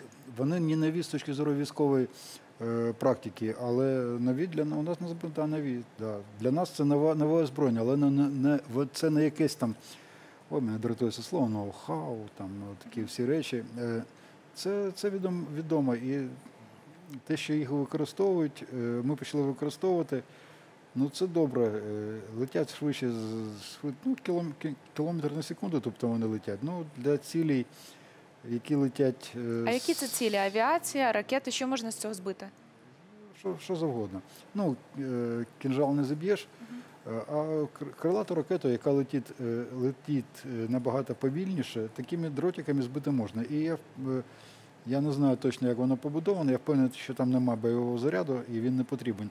За рахунок такої швидкості ми розуміємо, що кінетична енергія дорівнює МВ квадрат на 2, всі пам'ятають цю формулу. І завдяки е, масі, я думаю, що він зроблений з чогось важкого. Е, Це може бути вольфрамові, швидше за все, вони вольфрамові, е, ці дротики, нелегкі точно. То завдяки кі- кінетичній енергії, що три одразу летить один за одним, чи поруч по якомусь там схемі побудований, трикутник, чи там ще ну, трикутник, що може ще бути, то пробити, ну він, він просто зіпсує не за рахунок вибуху, за рахунок кінетичної енергії е, самого дротика. І можна навіть порахувати, скільки це. Я в уміння порахував, але у вас не буде часу, мені треба. Ми беремо Здається, це проти просто шахедів буде досить ефективним, принаймні виглядає Шахеді, да. так. Ну, Але чи це співставно по своїй ціні? Оцього я от, не знаю. От, якщо вам цікаво, можете зробити таким чином. Берете масу в, кілограмах цього дротика, в грамах точніше, е, ну, або в кілограмах в, якоїсь системі. Помножайте на його швидкість е, е, в квадрат швидкості. Потім отримуєте якусь цифру, це буде там мільйони чи сотні тисяч ньютонів. Потім берете табличку, перевод енергії з, в тротіловий еквівалент. І можна буде порахувати приблизно удар таким дротиком дорівнює вибуху. е, Я думаю, що це буде вибух не менше, ніж вибух е, е, двох-трьох гранат по, по силі F1 чи РГД-5. Ну, тобто це буде можна порахувати. Кому Ні, ну ми взагалі сподіваємося, що таких даних немає у відкритому доступі, що е, в Росії ніхто рахувати Ні, не ми зможе, можемо- що ми це можемо, все можемо взяти вагу дротика, ми знаємо його швидкість. Тобто, у нас є вже, ми можемо ці дві дані, ці дві цифри поставити у формулу. Получимо її енергію. Ця енергія буде, е, в, ну, наприклад, в ньютонах, да? якщо це сі система е, міжнародна. Потім беремо просто скільки це ньютонів, є табличка, переводить кількість енергії в ньютонах в кількості енергії в тротіловому еквіваленті. От ми ж кажемо, що коли вибухає атомна бомба, там же не е, декілька тонн е, тротіла вибухає. Ми кажемо тротіловий еквівалент. Тільки вона вибухає так, якщо вибухнула там, допустимо, там 10 тонн е, тротілу. Так, так само можна цю енергію привести в тротіловий еквівалент. Я думаю, що вона буде десь в тротіловому еквіваленті. Я так в умі швидко не порахую, але я думаю, десь е, 200-300 ну, до кілограма буде. Тобто це вистачить. Тобто це удар буде такий самий, якщо підірвати на цьому е, чому що летить, там, наприклад, е, пів кілограма вибухівки. Тобто це достатньо, щоб е, зруйнувати е, повітряну ціль, і її ж не треба знищити вщерть в хлам. Її треба зіпсувати, щоб вона втратила керування, щоб вона там десь. Пане Олексію, ось дивіться, ми розглядаємо е, от ключове питання нашої розмови це те несміливість наших західних сусідів Так, на жаль. збивати повітряні цілі, котрі летять по- по Україні, а навіть і в. По їхній території, так Да, і по і зараз ми території. одго- обговорили і зокрема F-16, про котрі Яся згадувала, і цей Starstreak. Чи є альтернативи, чи можливо нашим західним країнам і далі ось так пасивно поводитися і просто надавати нам ці засоби враження, більше літаків, більше систем ППО? Чи це незворотньо, що вони мусять це робити? Чому можуть Тут і є якась, тут, е, ви знаєте, тут щось те, е, таке. е, Ми, ми бачимо, що лежить, як то кажуть, на поверхні, але е, зрозуміти е, логіку е, дуже важко, тому я впевнений, що там є якісь щось інше, про, що поки що не кажуть ні наші, ні закордонні. То це якась дипломати. стратегічна невизначеність з нашого боку. Це- Мається на увазі, що ми хочемо, щоб ворог не знав, чи це є якийсь запобіжник, про який не можуть Це, вслух сказати. Є якісь запобіжні, про які не можу сказати слух. Дивіться, якщо, наприклад, зенітно-ракетний комплекс, е, ну давайте уявимо, е, стоїть на території Румунії, е, і він збиває повітряну яка десь там біля Львова, ну умовно кажучи. Або наш зенітно-ракетний комплекс, який стоїть, ну давайте так, кордон е, 10 метрів туди, 10 метрів сюди. Яка різниця? Тобто суть не змінюється. Тобто ви можете цим зенітно-ракетним комплексом вдарити по повітряній цілі і знищити, але ви цього не робите, бо це буде ескалація, тому беріть цей зенітно-ракетний ми вам передаємо через 10 метрів через кордон, збивайте самостійно. Ну це ж е, ну, ну це яка? Ну, ну що це якийсь дитячий садок, ну чесно. Ну, ну для мене незбагненно, наприклад. Ви проводили так е, паралелі з Ізраїлем. От я пам'ятаю, в Ізраїлі є східний сусід Йорданія, яка закриває майже всю східну частину І тим не Ізраїлю. менш вони не проти, якщо на них падає там. Ні, да. і, Йорданія, коли це була масована атака по Ізраїлю, заявила, все, що влітає в наш повітряний простір, от там же і буде знищено в нашому повітряному Правильно, простору. Чому е, не знищується в Румунії, наприклад, коли до- дунайські міста атакували українські? Ну тому що тому що є досі є великий страх е, перед е, Російською Федерацією і перед їхньою ядерною зброєю. Е, Давайте, по-перше, з 91-го року, з часів розпаду Радянського Союзу, вони не проводили ядерних випробувань, і термін придатності ядерного заряду складає 10, максимум 15 років. Тобто е, після цього він стає от те, що ми називаємо брудною бомбою. Брудна бомба це не те, що хтось зробив брудну бомбу, це е, е, ядерна бомба, термін придатності якої вийшов, зіпсована. І не Вона- зрозуміло, як вона спрацює. Ні, вона не вибухає, вона не вибухає, вона просто розкидає всі там 30-40 кілограмів е, бойової частини і все. Тобто, і це дуже швидко. Це не, не, це не Чорнобиль. Ну, всі, буде якась там зараження місцевості. Е, Просте питання. Ну, чому ви ну, ну, не слухайте? Е, Вмикайте мізк. Хіросима Нагасакі було атаковано ядерною зброєю, ну, тоді американською. Да, через скільки там люди е, почали нормально жити і через декілька тижнів. І зараз там спокійно живуть. А так як же там ядерний пепел? Що ж так? Тобто бомбили ядерною зброєю міста, да, загинула велика кількість людей, але завдяки тому, що це були цивільні люди, і там було дуже багато пожеж, там були дерев'яні будівлі. Але через декілька тижнів вони почали відбудову, і через максимум півроку і, і там досі живуть люди.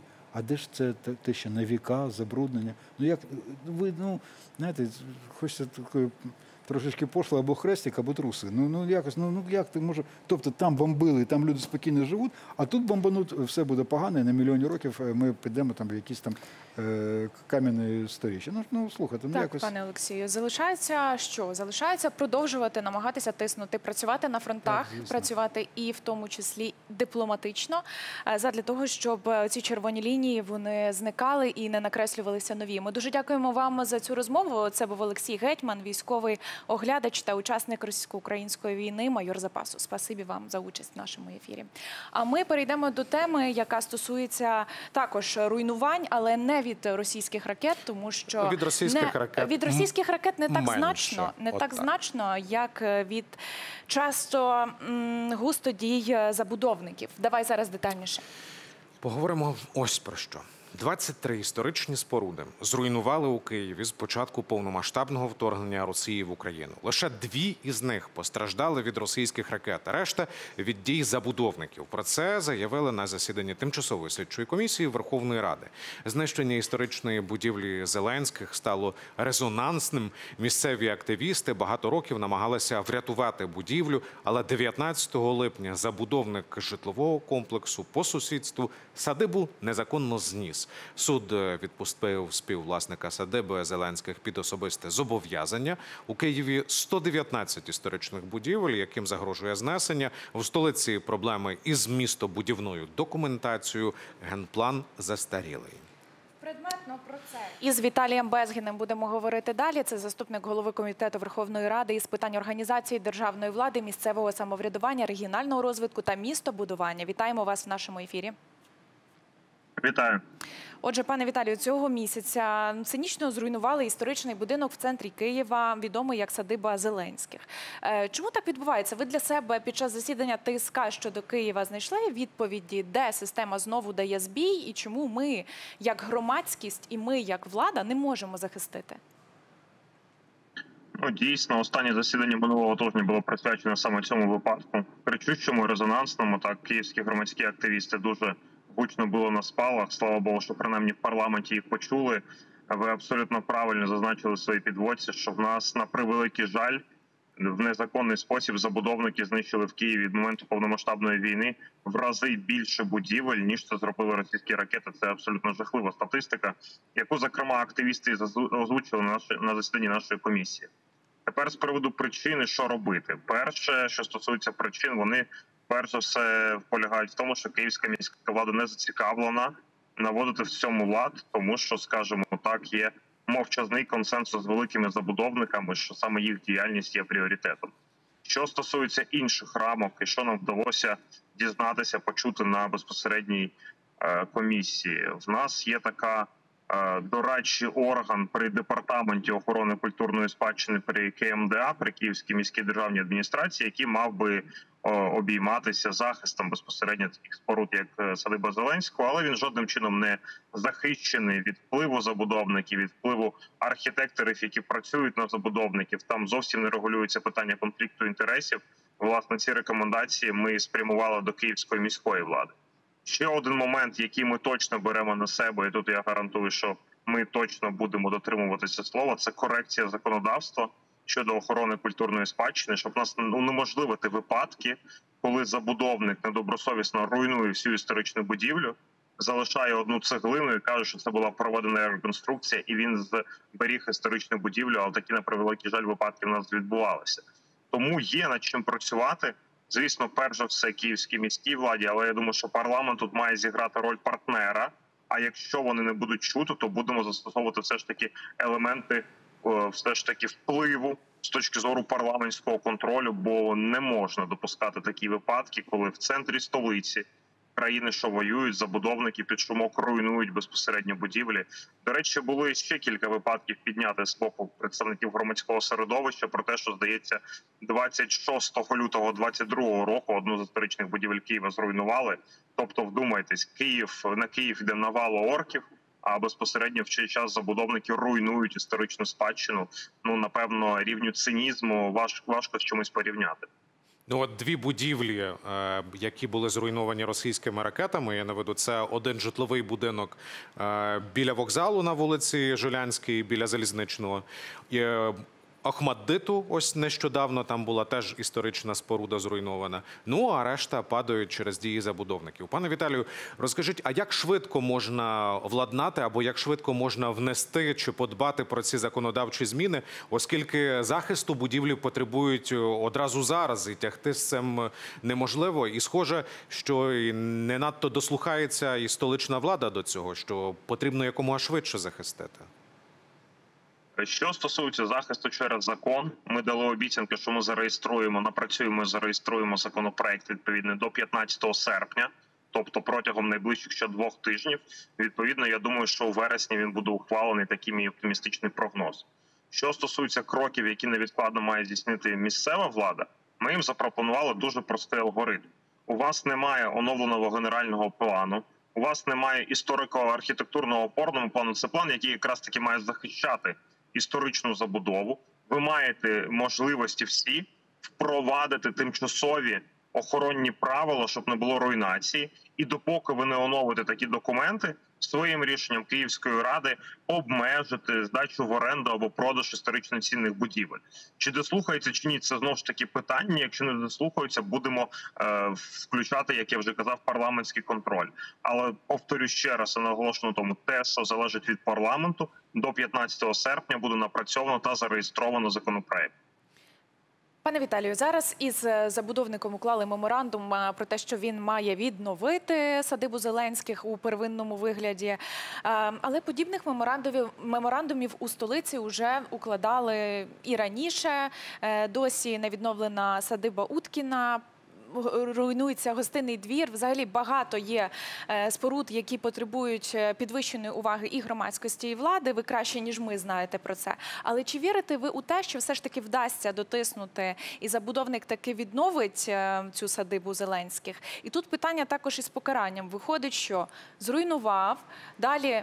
Відновив типу, як було. Хоча насправді це вже буде, ми розуміємо, не та не та історична будівля, яка була там з 19 століття, якщо я не я, до речі, на жаль, випадково став свідком, як руйнували садибу Зеленських. Так, там розташований відділення банку, в яке я ходжу. І от я йшов у відділення банків, і побачив, як хазяйнує екскаватор.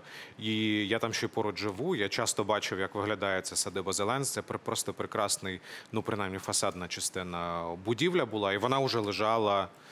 Е, у вигляді цегли. Так, от, дивись, так. вона вже лежала. Потім її е, захистили після того, як зруйнували, і домовились, ну нібито, що е, мають від має цей забудовник відбудувати. Пане Віталію, давайте так, але покарання ж має бути якесь. Не просто повернути як було. Тут треба розмежувати ваше запитання на кілька частин.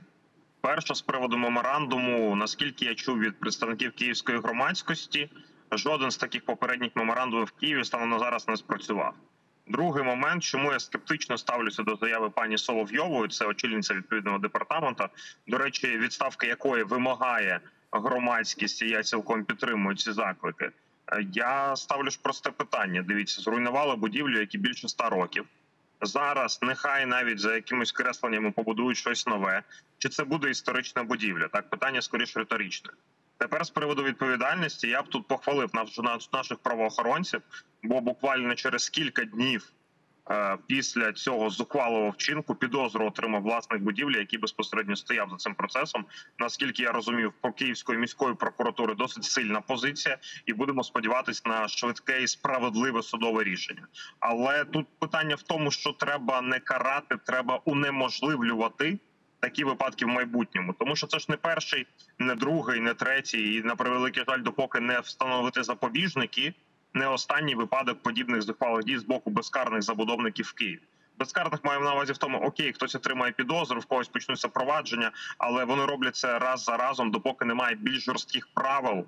Немає цього балансу між інтересом містян та інтересом великого бізнесу. Я думаю, що тут м'яч зараз на нашому половині, нашій половині поля, щоб допомогти цей баланс віднайти.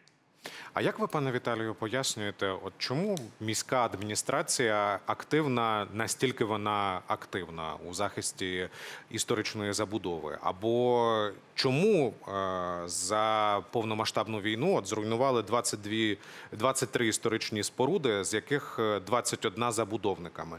Що не так у їхніх діях? Чи у них немає інструментів для того, щоб зупинити це? Будь-яка міська влада має однаковий має однаковий набір інструментів. Просто питання в тому, що в пріоритетах київської міської влади віддати все під забудову, під ту хаотичну забудову, що ми маємо, і абсолютно ніхто не обіймається історичною цінністю, яка в принципі, як і загальний вигляд Києва, фактично є зруйнованими. Насправді саме наслідками хаотичної забудови, наприклад, є і ті постійні системні колапси інфраструктурного характеру, які виникають. У нас Київ зараз навіть центральна частина повсюдно перерита, тому що прориває труби. В нас е, разом з дощом сходить асфальт і так далі. Все це наслідок абсолютно несистемної політики управління. Тому при всіх однакових наборах інструментів ми можемо бачити один рівень управління, наприклад, у Львові, один рівень управління в маленькому Чорткові, а абсолютно іншу ситуацію в місті, яке насправді мало б бути не тільки столицею політичним економічним центром, а все ж таки взірцем для всіх набагато менших громад в контексті свого розвитку. Але, але на превеликий жаль, так не відбувається, тому що знову ж таки споклюжений це баланс інтересу між містянами та бізнесом. Тобто питання у цінностях, правильно, коли ми дивимося на історичний Питання погляд цінностях Вінниці, там де викохують Питання- кожну будівлю одноповерхову, і бачимо Київ, де там 150 років, 120 років будівлями, вони падають від кранів. Питання винятково дійсно в цінностях і пріоритетах тих людей, які зараз обіймають в Києві керівні посади. Маю на увазі голову КМДА пана Кличка. Перш за все. Ви як політик, як оцінюєте от е, останні два тижні е, в неділю і в суботу під стінами Київської міської адміністрації виходили представники громадянського суспільства, захисників історичних будівель, ну і просто небайдужих громадян. Е, Яке вони мають значення? Ось ці виступи? Чи мають вони значення ці виступи? Чи впливають вони на міську владу? Дивіться, в мене дуже поміркована позиція з приводу акцій протесту. Поясню чому. Бо з одного боку, ми в повномасштабній війні, і в принципі будь-які акції громадського протесту вони мають певні обмеження. З іншого боку, коли ми кажемо про активний київський прошарок, я розумію, що в людей детально наболіло, накипіло.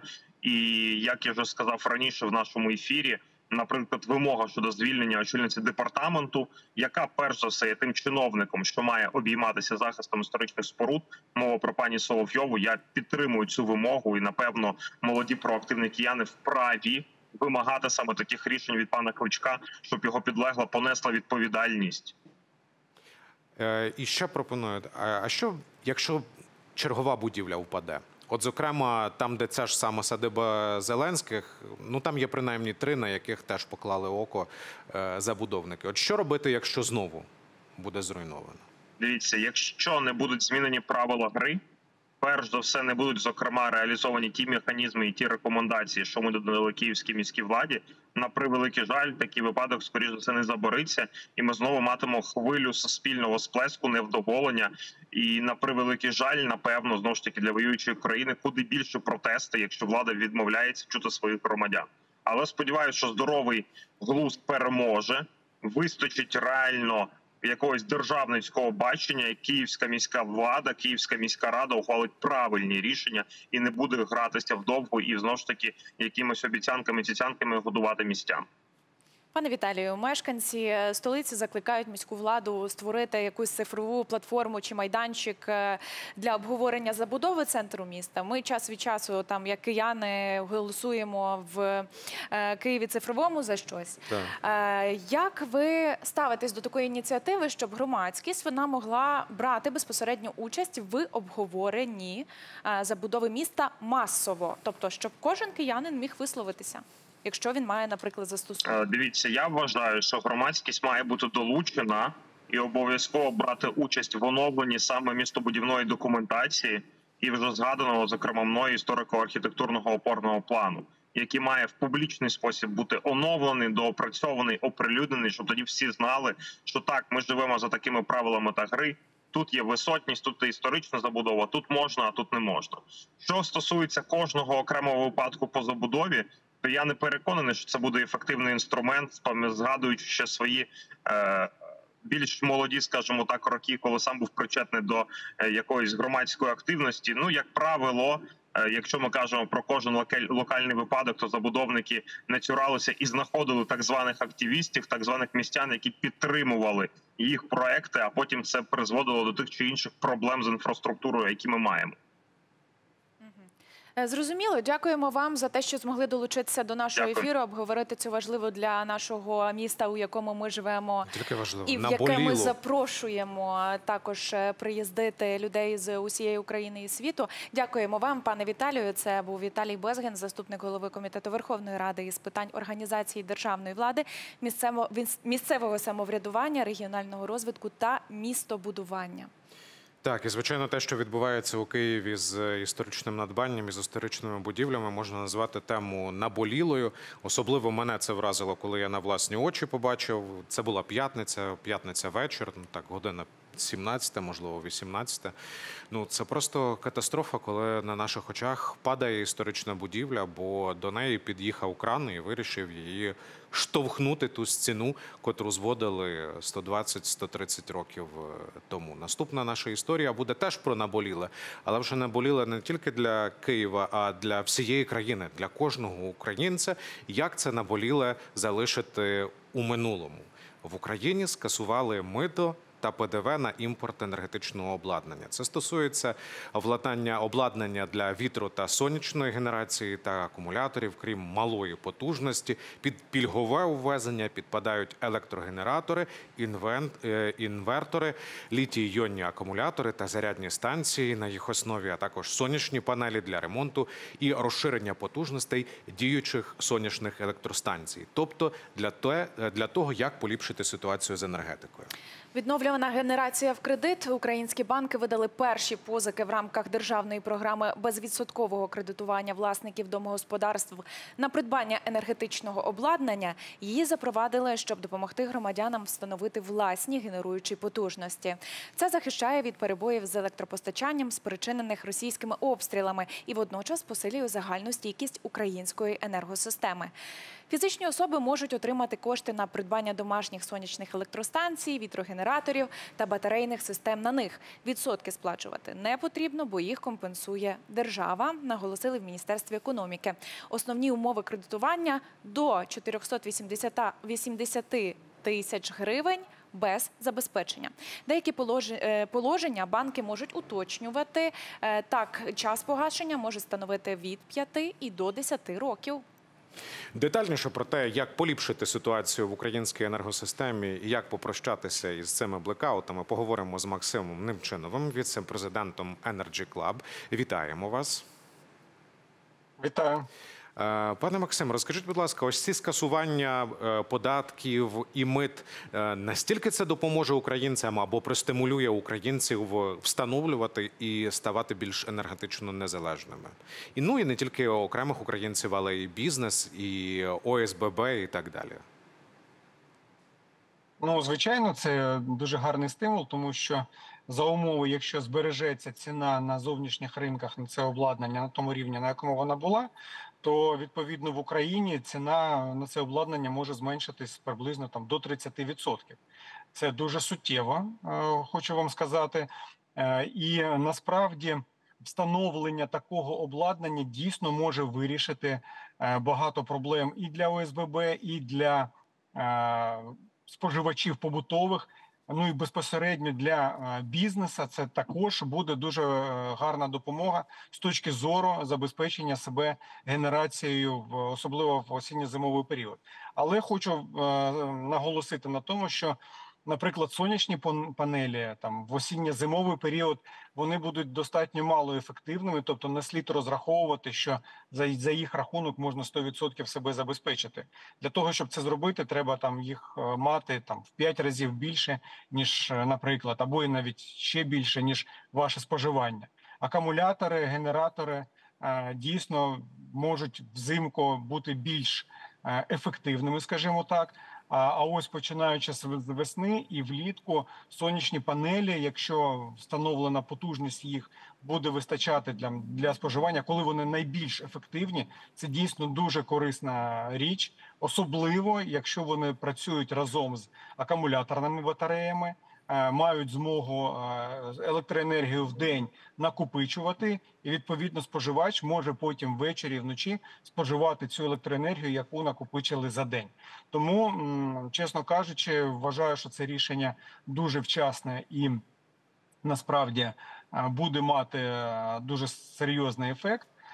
І сподіваюся, що усі наші громадяни, співгромадяни, хто захоче, скористуються цими пільговими програмами і зможуть е, купити це обладнання дешевше і ще встигнути е, встановити його до зими.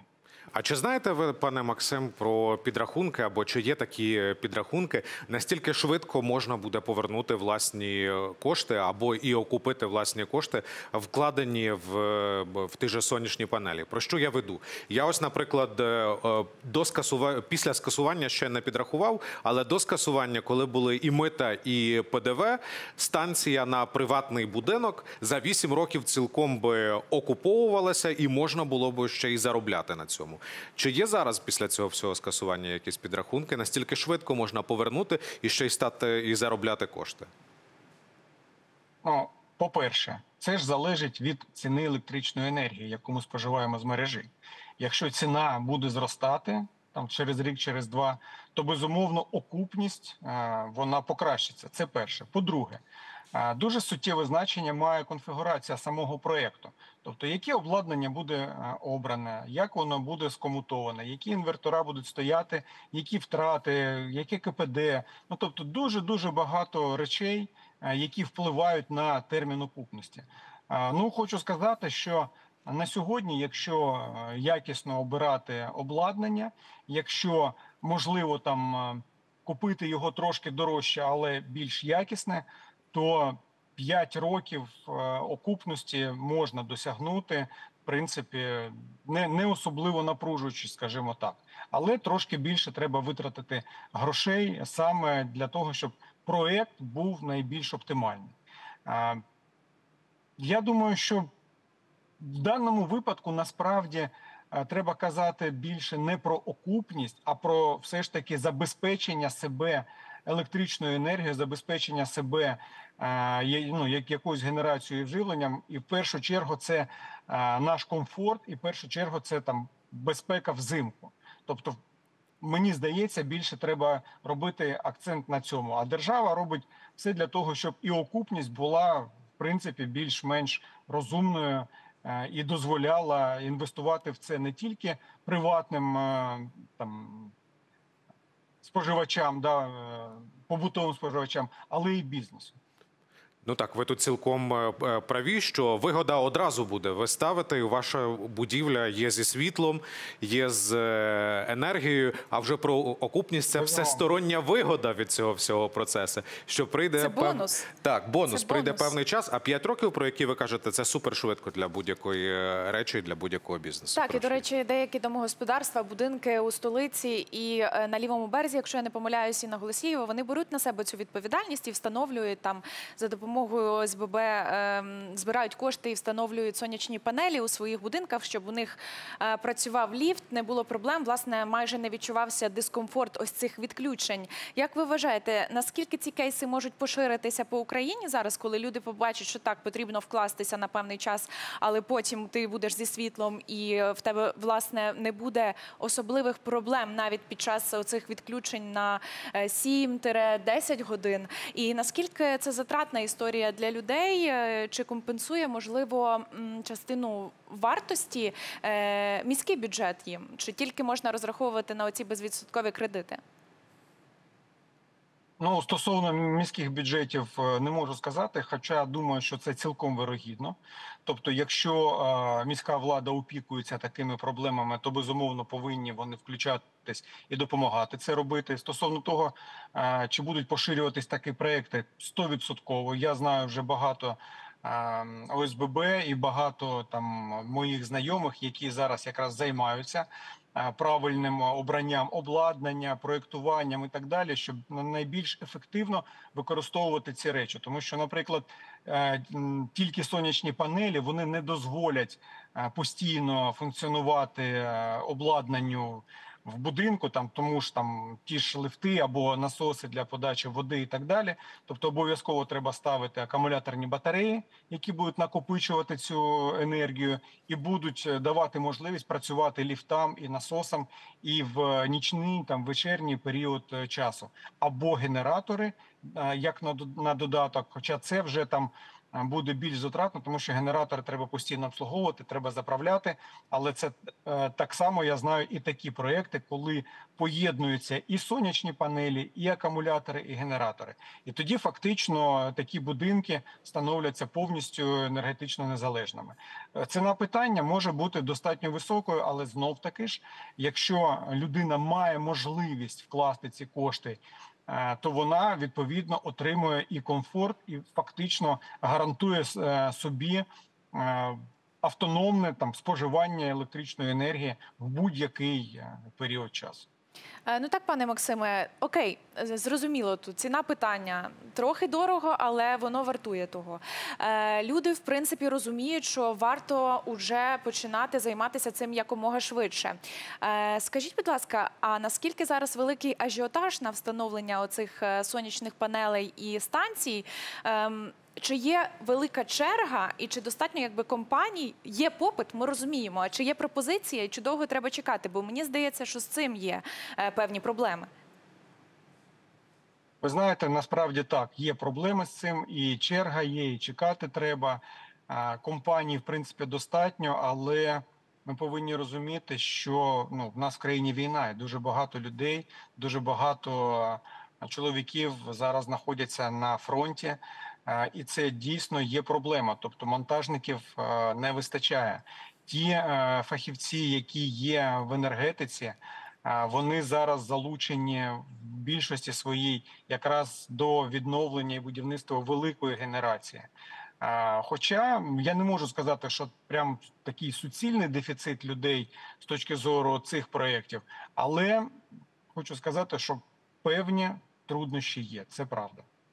А чи бачите ви або чи спостерігаєте ви якусь підвищену цікавість тих чи інших е, регіонів, де найбільше цікавляться з е, відновлювальною енергетикою, тою ж сонячними панелями або вітростанціями? Е, В яких регіонах? Там, де подалі від зони бойових дій, чи однаково у всіх? Плюс-мінус однаково усі опікуються цими проблемами. Всі розуміють, що це треба робити. Ну є просто регіони, які традиційно більш, ем, скажімо так, залучені в це. Ну там південні регіони, е, Херсонська, Николаївська, Одеська, там, де багато сонця.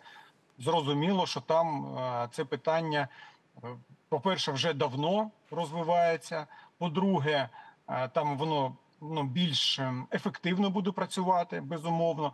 Але і Івано-Франківська, там Закарпатська так само немає різниці. Люди зараз е, роблять все можливе по всіх регіонах для того, щоб себе забезпечити електричною енергією.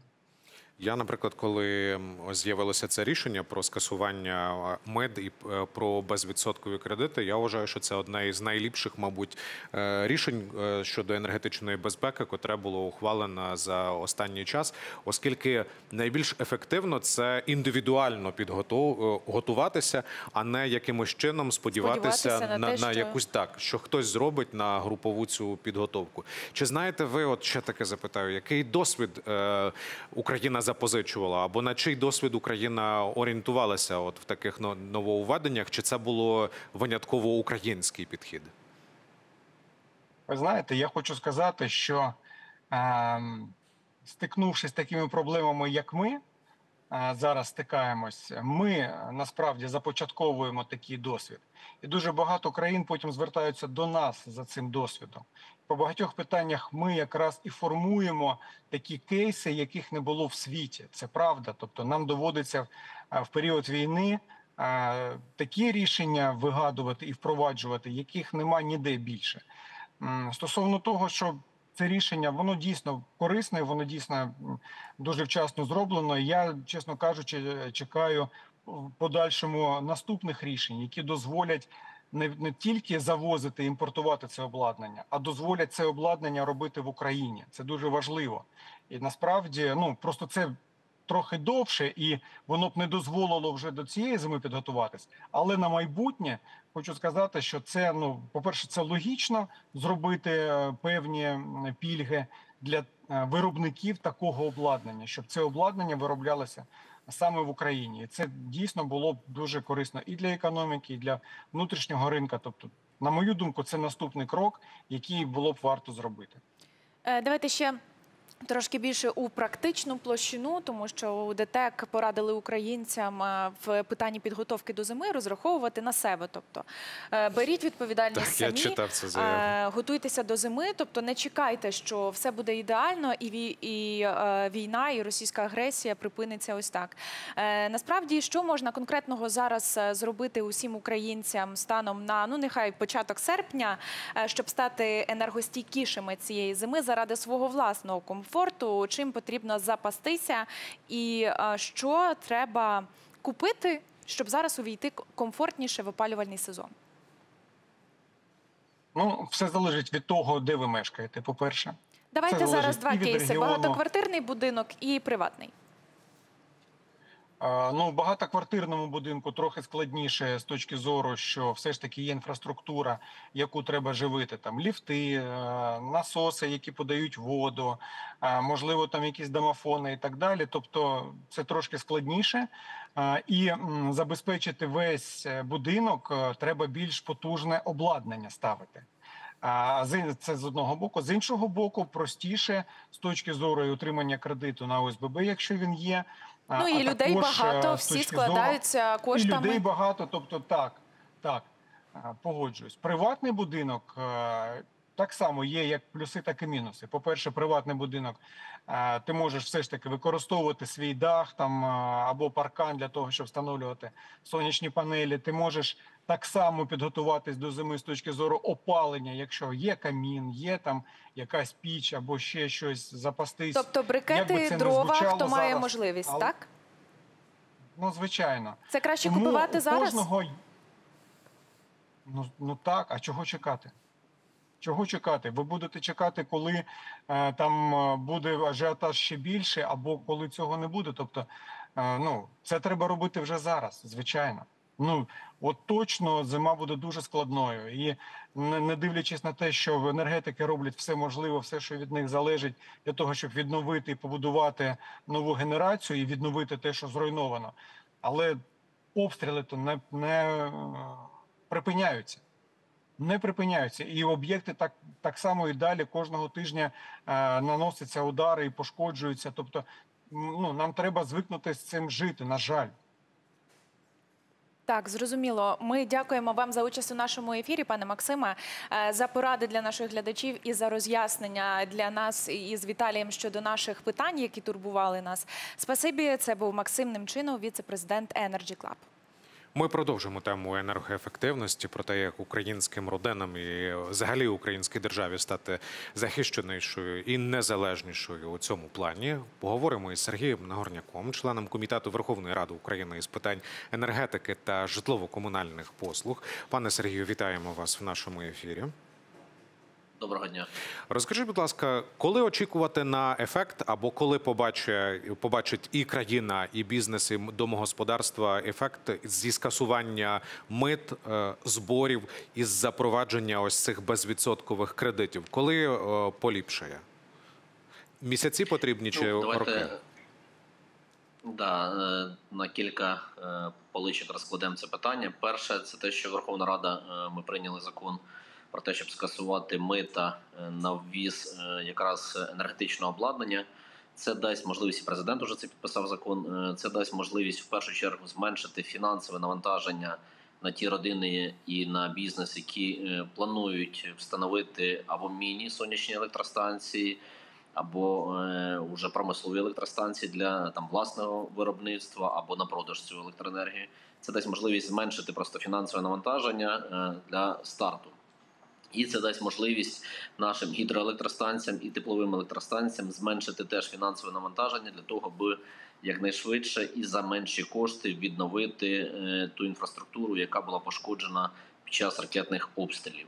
Що стосується е, іншого питання, це якраз пільгового кредитування населення для встановлення е, власних е, міні-електростанцій. Е, Цей проект уже запрацював, і сьогодні як державні, так і недержавні банки кредитують під 0% річних е, на 10 років е, для е, домогосподарств. Е, І сума сягає цього кредиту до 480 тисяч гривень. Цієї суми, в принципі, плюс-мінус достатньо для того, аби встановити невелику сонячну електростанцію на даху е, приватного будинку, встановити е, енерджі накопичувачі. Це фак- фактично ті самі накопичувачі, якими ми там користуємося в е, приватному е, в приватних цілях. Да, там тільки це такі вже більш великі накопичувачі для того, аби ту електроенергію, яку згенерує е, сонячна сонячні панелі у вас на даху, щоб можна було її накопичити і використати в потрібний для цього час. І це пільгове кредитування вже запрацювало. І сьогодні і державні, і недержавні банки надають е, такі кредити для е, домашнього е, домогосподарства. Важливо, щоб кожна родина е, сьогодні проконсультувалася як з банками-партнерами, так і з фахівцями, ті, які встановлюють і накопичувачі, і розподільчі пристрої, і самі сонячні електростанції. І це дасть можливість кожна родина, яка встановить е, невелику електростанцію, вона фактично зробить внесок в енергонезалежність нашої держави. На тижні я слухав засідання кабінету міністрів, що вже є перші виділення цих кредитів не тільки для українських родин, але є і компанія, котра теж на своїй території має намір розгорнути сонячну станцію. Вона теж здобула е, пільговий кредит. Е, Все-таки е, який час, скільки часу потрібно? От можливо, за це літо і за цю осінь українці стануть масово розгортати, а вже із початку наступного року відчується ось це послаблення і поліпшення в енергетичній системі. Чи потрібно більше часу? Питання сьогодні навіть не в спроможності українців або в бажанні е, встановити такі е, сонячні електростанції. Сьогодні на ринку України працює ну, якась певна кількість компаній, і наскільки я розумію, що вони сьогодні завантажені роботою, і фізично в нас в Україні недостатня кількість компаній, які могли б е, і мали б спроможність встановити е, ті кількості е, людей, які хочуть дійсно це встановити.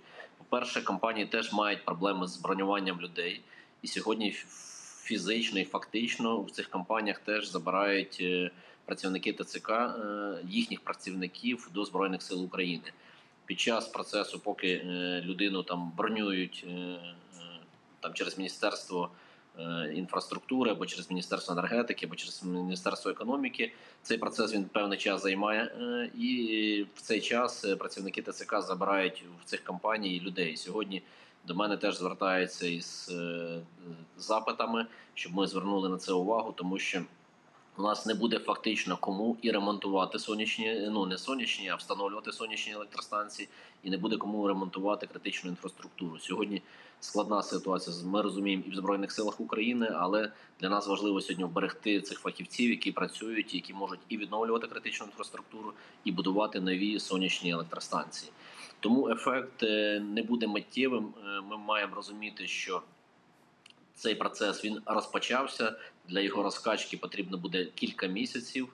І я так думаю, що ефект буде він вже ближче до весни, тому що люди е, теж не поспішають і не, не хочуть все ж таки навіть і під 0% ризикувати брати кредити, тому що е, війна і люди не розуміють е, ну, і не впевнені в завтрашньому дні. Пане Сергію, чи не найбільше від е, регулярних відключень страждає український бізнес? Дуже складно зараз працювати в умовах е, ось цього щільного графіку, коли потрібно особливо там зберігати продукцію, е, молочку, зокрема. Чи достатньо оцим скасуванням мит та безвідсотковими кредитами держава підтримує підприємців? І що ви, як влада, можете іще зробити для бізнесу? Можливо, якісь ініціативи законодавчі уже е, циркулюють в парламенті, просто до них ще немає такої уваги. Е, Поділіться, будь ласка, тоді з нами. Знаєте, я думаю, що е, в першу чергу український бізнес має сьогодні подумати про енергонезалежність свого бізнесу. І на сьогоднішній день ці пільгові кредити, які отримує і населення, і домо, ну, приватні домогосподарства, фактично за такими ж умовами може отримувати і бізнес е, пільгові кредити. І потрібно сьогодні бізнесу е, звертатись теж до банків за пільговими кредитами. Але звісно ж, банки е, зможуть надавати тому бізнесу, який працює в білу, який зможе показати е, фактично свої баланси і може показати свою дохідність. Якщо бізнес не показував свою дохідність там до сьогоднішнього дня і хоче отримати кредити, банк на це не піде, бо бан- у банка є певні комплаєнси. Що стосується е, Верховної Ради і тих рішень, які Верховна Рада приймає на зустріч бізнесу, саме якраз цей закон про відміну е, НДС і е, в'їзного мита на це обладнання, воно й дає можливість зменшити навантаження фінансове. І сьогодні бізнес при ціні електроенергії е, на ринку. е, Не по тій, по, по якій ціні купує населення, по тій, якій купує сьогодні якраз е, бізнес. Ці ціни сягають від 7 до 10 гривень в деякі години. Е, Тому сьогодні економічна складова достатньо цікава для того, аби встановлювати власну генерацію, власне накопичування і бути максимально енергонезалежними. Ми маємо розуміти, що ми з дефіцитом ще житимемо е, не один рік електроенергії. Ми швидко не зможемо і збудувати і відновити ту кількість генерації, яка була е, там пошкоджена протягом цієї весни і літа Російської Федерації. Тому бізнес, який багато споживає, який стало споживає, розуміючи е, ту кількість електроенергії, той об'єм, який він споживає, потрібно звертатися до фахівців, які зможуть прорахувати економічну складову і інвестувати сьогодні саме якраз в енергонезалежність е, свого підприємства для того, аби е, не бути там залежним від подачі або не подачі електроенергії від держави. Про власну малу генерацію і енергонезалежність поговоримо також із Геннадієм Рябцевим, експертом з енергетичних питань. Він зараз приєднується до нашого ем, ефіру. Пане Сергію, ви не залишайте нас. Ми з вами ще не прощаємося. З вами теж почуємося. Пане Геннадію, вітаємо вас. Вітаю вас. Можливо, ви зорієнтуєте за е, сумами і за цінами, от скільки потрібно організації співвласників багатоквартирного будинку для того, щоб стати або трохи енергетично незалежнішими, або вже і зовсім енергетично незалежними зі встановленням е, тих же сонячних панелей або можливо якогось вітряка, і скільки потрібно на яку суму орієнтуватися е, приватному домогосподарству? Тут важко сказати. Тут потрібно орієнтуватися на ту суму, яку ми можемо зібрати, чи яка у нас є в бюджеті. І виходячи з неї, щось планувати. Не варто розраховувати, що держава платить все, все, все е, і надасть безвідсоткові кредити, і поверне всі е, кошти, які е, витрачені. Тут головне зрозуміти, що е, яке обладнання потрібно для того, щоб е, забезпечити е, е, оцю саму власну енергетичну незалежність. Якщо це е, приватне домогосподарство, то цілком зрозуміло, що е, там все впирається в кошти наявні. Тобто, якщо є е, піч, груб, грубка або щось інше, то звісно від них не потрібно відмовлятися. Якщо є кошти на купівлю бензинового чи дизельного генератора, чи твердопаливного котла, чи будь-якої когенераційної установки, то е, ці це обладнання потрібно якомога швидше е, купувати зараз, не чекаючи, поки е, прийде вже опалювальний сезон. Коли йдеться про багатоквартирний будинок, то тут потрібно зрозуміти, яка потреба в генерації в цьому самому багатоквартирному будинку, і чи згодні е, мешканці цього будинку сплатити ту чи іншу суму, вже виходячи від, від тієї суми, яку мешканці готові платити, вже можна відштовхуватися стосовно того, що потрібно, або той же самий генератор на подвір'ї, або якась міні-ТЕЦ знову ж таки на подвір'ї, або е, ну, просто утеплення е, фасадів, утеплення вікон. Е, Вхідних дверей, тобто для того, щоб зменшити втрати теплової енергії в навколишнє середовище під час опалювального сезону, і е, потрібно дуже чітко зрозуміти одну річ: зараз дуже багато хто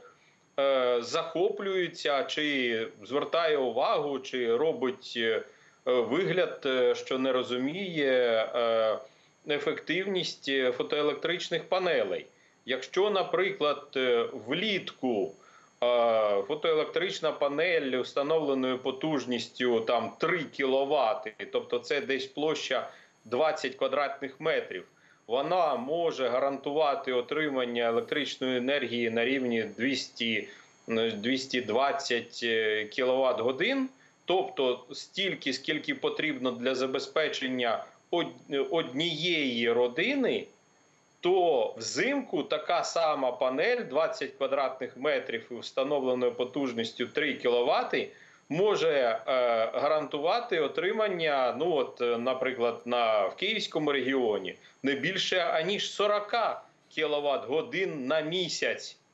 І е, це е, е, означає, що окрім встановлення сонячних панелей на дахах, е, потрібно подбати і про інші е, джерела живлення, і про інші можливості забезпечення власної автономності.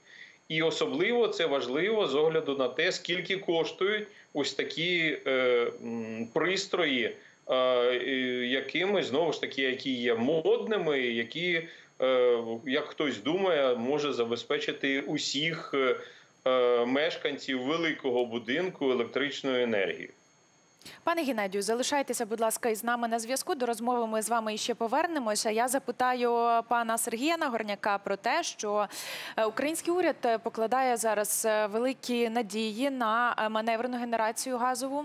І є регіони, які почали займатися цим питанням уже давно. Наприклад, у Хмельницькому почали встановувати ось ці газові когенераційні установки ще там десятки років тому. Взагалі, які міста, пане Сергію, в Україні показують клас, показують успіхи у переході на розподілену генерацію і зараз активно е, вдаються до того, щоб ставати енергонезалежними? Ну, я в першу чергу відмічу місто Черкаси. Е, Місто Черкаси е, станом на сьогодні мають 11 когенераційних установок. Теплокомуненерго, Черкаси Теплокомуненерго має 11 когенераційних установок. Я перепрошую, п'ять а у Черкасах почали встановлювати їх заздалегідь, е, чи вже коли почались проблеми? Так, їх по- почали встановлювати заздалегідь ще Мгм. і минулий позаминулий рік. І в Мені цьому просто році здається, вони що це додатково дійсно важливий, важлива ремарка, що Да, потрібно. е, в цьому році вони отримали із цих 11, 5 вони встановили заздалегідь, і 6, якщо не помиляюсь, вони отримали від USAID цього року. І ми приїздили із керівником е, програми USAID енергетична безпека з паном Майклом. е, Тренером, і ми переглядали дивилися, як е, працюють ці генераційні установки. І не всі ще із тих, які подарувало їм USAID, вони ще їх під'єднали, тому що місто Черкаси намагається ефективно використати свій бюджет. Е, В чому саме справа? Тому що е, фактично наші партнери дарують когенераційні установки. Вони, якщо йдуть великої потужності, вони йдуть без захисних кожухів. Цей захисний кожух він достатньо дороговартісний. І для того, аби заощадити е, кошти громади, місто Черкаса пішли на там ну такий експеримент, скажімо так, і вони не замовляли оригінальний цей захисний кожух, який зменшує там шум, який буде від роботи цієї когенераційної установки, а замовляли його вже не оригінальний, скажімо, який коштує в рази дешевше. І так само саме процес підключення. Якщо там замовляти, є компанії, які за підключення беруть мільйони гривень. Е, Черкаси теплокомуненерго підключає їх власними силами і витрачає лише кошти на те, щоб заплатити заробітну платню своїм працівникам.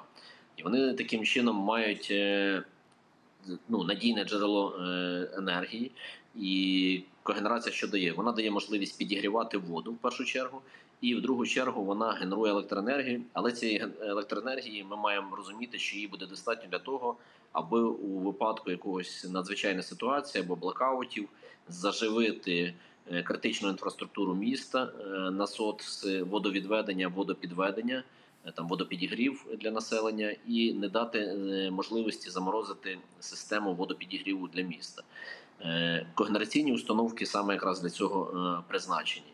Е, Але в нас сьогодні мова йде в державі якраз по, про балансуючі потужності, про газотурбінні і газопоршневі. Це установки, які генерують виключно електроенергію, але вони не підігрівають там воду, тому що когенераційні установки вони і підігрівають воду, і генерують електроенергію. Вони не такої там великої потужності, ну, середні когенераційні установки.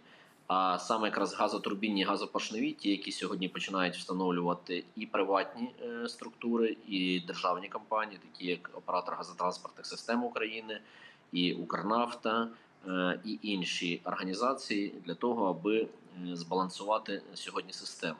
Але ми маємо бути там відвертими і перед українцями, що до зими не вдасться збудувати достатньої кількості когенераційних установок або так само е, газотурбінних і газопоршневих. Це весь процес він теж е, займає певний час і проектні рішення, і монтаж, і підключення, налагоджування їх е, і пусконаладки. Всі процеси.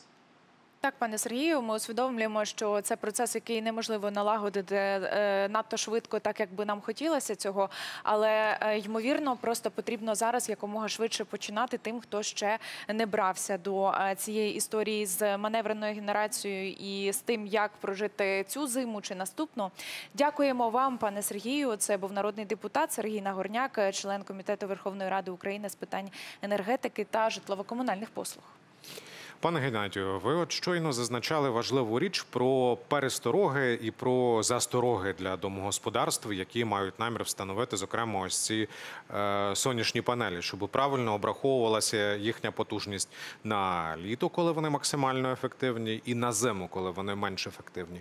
Які є ще перестороги для бізнесу, для окремих господарств, для об'єднань співвласників, якщо вони мають намір от брати так, такі кредити і, зокрема, закуповувати обладнання для того, щоб ставати більш енергонезалежними. Перестороги маються на увазі в тих же підрахунках потужності, можливо, є якісь техніки безпеки, правила або ще які інші речі. Так, безумовно. Насамперед, е, перед тим як щось купувати, потрібно визначити потреби, провести аналіз цих потреб. І причому враховувати не лише ту потужність, яку, наприклад, споживають е, електроприлади в звичайному режимі, але й враховувати пускові режими. Тобто ті системи накопичення енергії, які е, закуповуються, вони мають е, мати запас потужності щонайменше в півтора рази. Е, Для того щоб е, можна було е, нормально експлуатувати будь-яке обладнання в тому ж самому домогосподарстві. Е, І знову ж таки потрібно е, зрозуміти, від якого від експлуатації якого обладнання можна буде відмовитися в, опалювальний сезон. е, І розподілити ось цей самий цю саму потужність між окремими споживачами. тому що зараз дуже велике є розчарування тим придбаним обладнанням, що вона не мов би там. Е, Установлена потужність у нього велика, а реальна потужність, яка споживається, е, в декілька разів виявляється менша. І, е, але це не претензія до виробників обладнання, просто потрібно розрізняти, що тако, що таке встановлена потужність, а що таке реально споживана. І крім цього, варто всім пам'ятати про те, що будь-яке обладнання, яке закуповується, яке встановлюється, яке потім експлуатується, воно має е, все це має здійснюватися в точній відповідності з правилами безпеки експлуатації цього самого обладнання, і в жодному разі все це обладнання не має монтуватися. е, Встановлюватися непрофесіоналами, людьми, які далекі від енергетики. Тому е, зараз е, найбільше, що на що потрібно звертати увагу, це на те, що прописано і відповідних технічних характеристиках е, у в керівництвах е, настановах з експлуатації обладнання, і в жодному разі не допускати е, саморобних в експлуатацію встановлення саморобних пристроїв. І е, збирання на колінці різноманітних акумуляторів акумуляторів на базі, наприклад, автомобільних акумуляторів чи якогось іншого обладнання, списаного обладнання, того, що тривалий час не було в експлуатації, і е, того, що приєднується просто е, власне е, самими мешканцями того чи іншого будинку. І е, це на це потрібно насамперед звертати увагу е, з огляду на те, скільки пожеж вже було в Україні під час ось цього е, збільшеного використання цього обладнання, коли е, була спека, коли всі е, хотіли мати нормальні умови. е, е, В е, їхніх помешканнях і вмикали кондиціонери, заживлюючи їх від саморобних пристроїв. Ну, до речі, в оця історія, котру ви розповідаєте. ще суттєвіше буде. Е, Ось із технікою безпеки, е, як ви розповідаєте, я минулого тижня читав, можу помилитися або в Нью-Йорк Таймс, або в Financial Times. Я думаю, ви теж бачили цей, цю замітку про Тесла, про те, що українці знаходять е, старі Тесли, знімають акумулятори. От як слід сприймати ці новини правильно, оскільки у всі, е, всіляких телеграм-каналах і навіть у змі подавалося це, перепрошую, як перемога. Однак це не перемога, це небезпечна річ. Так, безумовно. Одна справа, коли йдеться про е, лінію фронту, про ті населені пункти, які перебува... перебувають ну, безпосередньо в зоні бойових дій, там, де можна і потрібно використовувати все, що здатне генерувати електричну енергію. А інша мова, коли йдеться про великі міста, міста мільйонники, е, про е, ті населені пункти, які розташовані на 100, на 200, на 300 кілометрів е, від е, зони бойових дій. І е, в них все обладнання, яке встановлюється особливо в багатоквартирних будинках, воно має відповідати найвищим вимогам безпеки тому що е, не можна саморобне обладнання встановлювати в квартирах, і не можна експлуатувати в тих самих квартирах, багатоквартирних будинках, в закритих приміщеннях бензинові і дизельні генератори. Або саморобні акумуляторні пристрої системи накопичення енергії, зібрані з е, автомобільних акумуляторів чи будь-чого.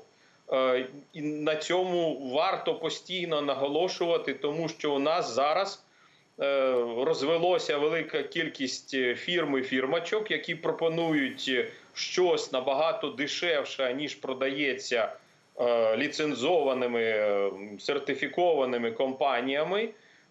І, на жаль, через кількість коштів обмежено, дуже обмежено, дуже обмежені бюджети у українських громадян. Вони клюють на всі ці пропозиції і встановлюють у себе небезпечне обладнання. е, краще менше, але е, але безпечніше і е, гарантованіше отримати е, нехай меншу кількість енергії, але точно ці, цю енергію отримати і без е, ризику е, опинитися взагалі без квартири взимку в опалювальний сезон.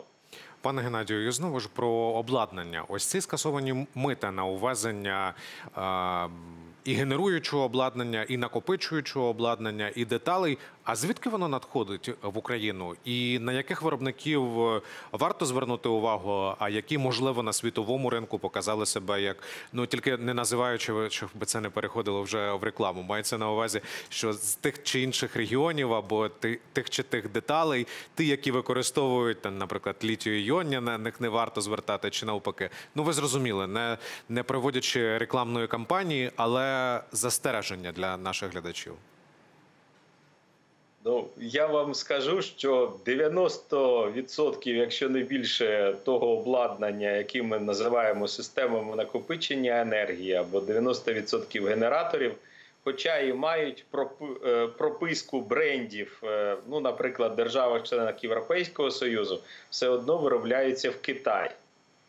Е, Тому розрізнити і сказати, що ось це воно краще, аніж це, я особисто не візьмуся, тому що в більшості своїй е, е, різниця у вартості вона визначається розкрученістю бренда того чи іншого. Але е, ну, якщо ви бачите е, систему накопичення енергії, е, те, що у нас називають Екафло, хоча це назва компанії, е, вартість якої на порядок нижча, аніж е, вартість аналогічних систем, то, на мій погляд, безпека дорожча, аніж е, оця сама різниця в цінах. Е, Приблизно одна та ж сама, е, той же самий рівень вартості за кіловат е, годину генерованої енергії е, є для будь-яких е, систем накопичення енергії. Знову ж таки, е, тут, е, якщо довго чекати, поки е, відповідні оператори, е, відповідні роздрібні компанії, які закуповують це обладнання, передусім безумовно в Польщі, передусім безумовно в Польщі, е, вони е, знизять ціни е, то можна і не дочекатися надходження відповідного замовлення вашого. Тому не чекайте початку опалювального сезону. На жаль, зараз дуже високий попит, і цей високий попит е, е, він е, е, відображується через е, ціни, які, на жаль, е, є вищими, аніж. Е, е, ну, реальні ціни таких самих товарів е, в тих же самих державах-членах Європейського Союзу. Тому я і кажу, що основне, що ми всі маємо забезпечити перед початком опалювального сезону, це теплове ізолювання. Ми не маємо опалювати навколишнє середовище, не маємо втрачати теплову енергію. Це особливо важливо для тих е, домогосподарств, в яких немає централізованого опалення, е, в яких е, підводиться лише холодна вода та електрична енергія. А таких домогосподарств, особливо в новобудовах, дуже багато, і особливо ще й якщо і природного газу немає для приготування їжі. Ось в таких е, будинках найбільше, що потрібно забезпечити, е, це саме теплове ізолювання, це е, зменшення втрат теплоти в навколишнє середовище. Поради щодо цього є в великій кількості в, е, в мережі. Будь ласка, м, є відповідні поради Так, я думаю, і на кожен сайті за бажанням може скористатися і е, детальніше е, поцікавитися, якими е, користуватися засобами саме для себе. Хто живе в приватному будинку, хто живе в багатоквартирному, в кого є газ, у кого немає. Це вже індивідуальна дуже історія, але так чи інакше закликаємо, приєднуємося до ваших закликів ем, до українців, що варто подумати про те, як ми будемо зимувати уже зараз. І звісно, ні в якому разі не забувати про заходи безпеки під час використання генераторів, акумуляторів і зарядних станцій. Дуже вам дякуємо. Це був Геннадій Рябцев, експерт з енергетичних питань. І важлива річ про ціну. Коли бачите надто низьку ціну, варто задуматися, перевірити, порівняти і не спокушатися на такі речі. Наступна наша тема теж енергетична. Стосується в певному сенсі енергетики, так. Так, колись вона була енергетичною, зараз вона вже більше темою катастрофи і темою довкілля. Це опустелення, руйнування систем зрошення, багаторічних насаджень та проблеми із агровиробництвом. Більше року минуло відтоді, як росіяни підірвали Каховську ГЕС. Тоді у зоні катастрофи опинилися близько 16 тисяч людей та 80 населених пунктів, частину з яких затопило. Підрив росіянами греблі створив справжню екологічну катастрофу. А саме згідно зі звітами екологів, опустелення, деградацію ґрунтів, підтоплення та втрату лісів, загибель та знищення багатьох видів тварин, риб, птахів та рослин. Крім того, забрудненню та засміченню нафтопродуктами, небезпечними речовинами, добривами, біомасою, наслідками військової діяльності річки, а також припинене водопостачання для зрошення, що відобразилися негативно на агросекторі. Зараз територія Каховської ГЕС це перша лінія оборони, тому будь-які відновлювальні роботи стануть можливими лише після завершення бойових дій, заявили в обласній військовій адміністрації. Поки над цим працюють фахівці, і за попередніми підрахунками для побудови нової станції потрібно щонайменше 5 років від 1 до 2 мільярдів євро. Про катастрофу на Каховській ГЕС і про наслідки цього страшного теракту ми будемо говорити із Юрієм Соболевським, першим заступником голови Херсонської облради. Вітаємо вас в нашому ефірі. Вітаю вас, друзі. Отже, наслідки російського теракту на Каховський ГЕЦ ми ще будемо довго відчувати і всією Україною. Особливо це впливає на південні області. Які зараз найбільші проблеми для Херсонщини на Херсонщині пов'язані саме з втратою водосховища і з тим, що е, росіяни віроломно зруйнували гідроелектростанцію? Що зараз відчувається найгостріше для людей? Найгостріше, безумовно, це доступ е, до питної води, тому що в багатьох громадах значні зміни і погіршення екологічного стану, і е, деякі взагалі залишились без такого доступу, тому що змінився рівень води, е, водного горизонту, і тому ці проблеми вирішувалися спочатку довезення бутильованої води, потім встановлення від відповідних вже інженерних конструкцій, які дозволяють людям цей доступ мати. Е, Щодо правобережної частини Херсонщини, е, вибачте, лівобережної, там значно гірша ситуація, тому що доступу немає. Гуманітарною підтримкою наших людей окупаційна адміністрація фактично не, не займається, тому е, у багатьох там дуже великі з цим проблеми. Деякі населені пункти взагалі людям прийшлося просто виїхати, тому що виживати там було неможливо. Щодо е, довгострокових наслідків, то на жаль, оц- оцінити масштаби цієї катастрофи, цього жахливого теракту, ми зможемо вже повноцінно, виключно після звільнення всієї нашої території для того, щоб забезпечити доступ спеціалістам до цієї території, щоб можна було зробити відповідні експертизи. Але вже зрозуміло, що на е, лівобережній частині Херсонщини система зрощення фактично знищена.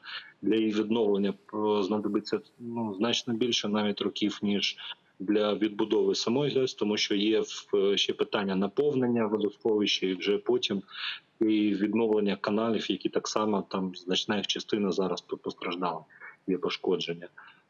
Для агросектору так само збитки колосальні, тому що і і відсутність доступу до зрошувальної системи і забруднення от внаслідок активних бойових дій ґрунтів, е, воно так само на жаль наслідки має, і потрібно буде роки для того, щоб відновити цей ґрунт. От е, липень, котрий панував в Україні в багатьох місцях, а можливо і в кожному місті, і в кожному населеному пункті, він був пекельним липнем.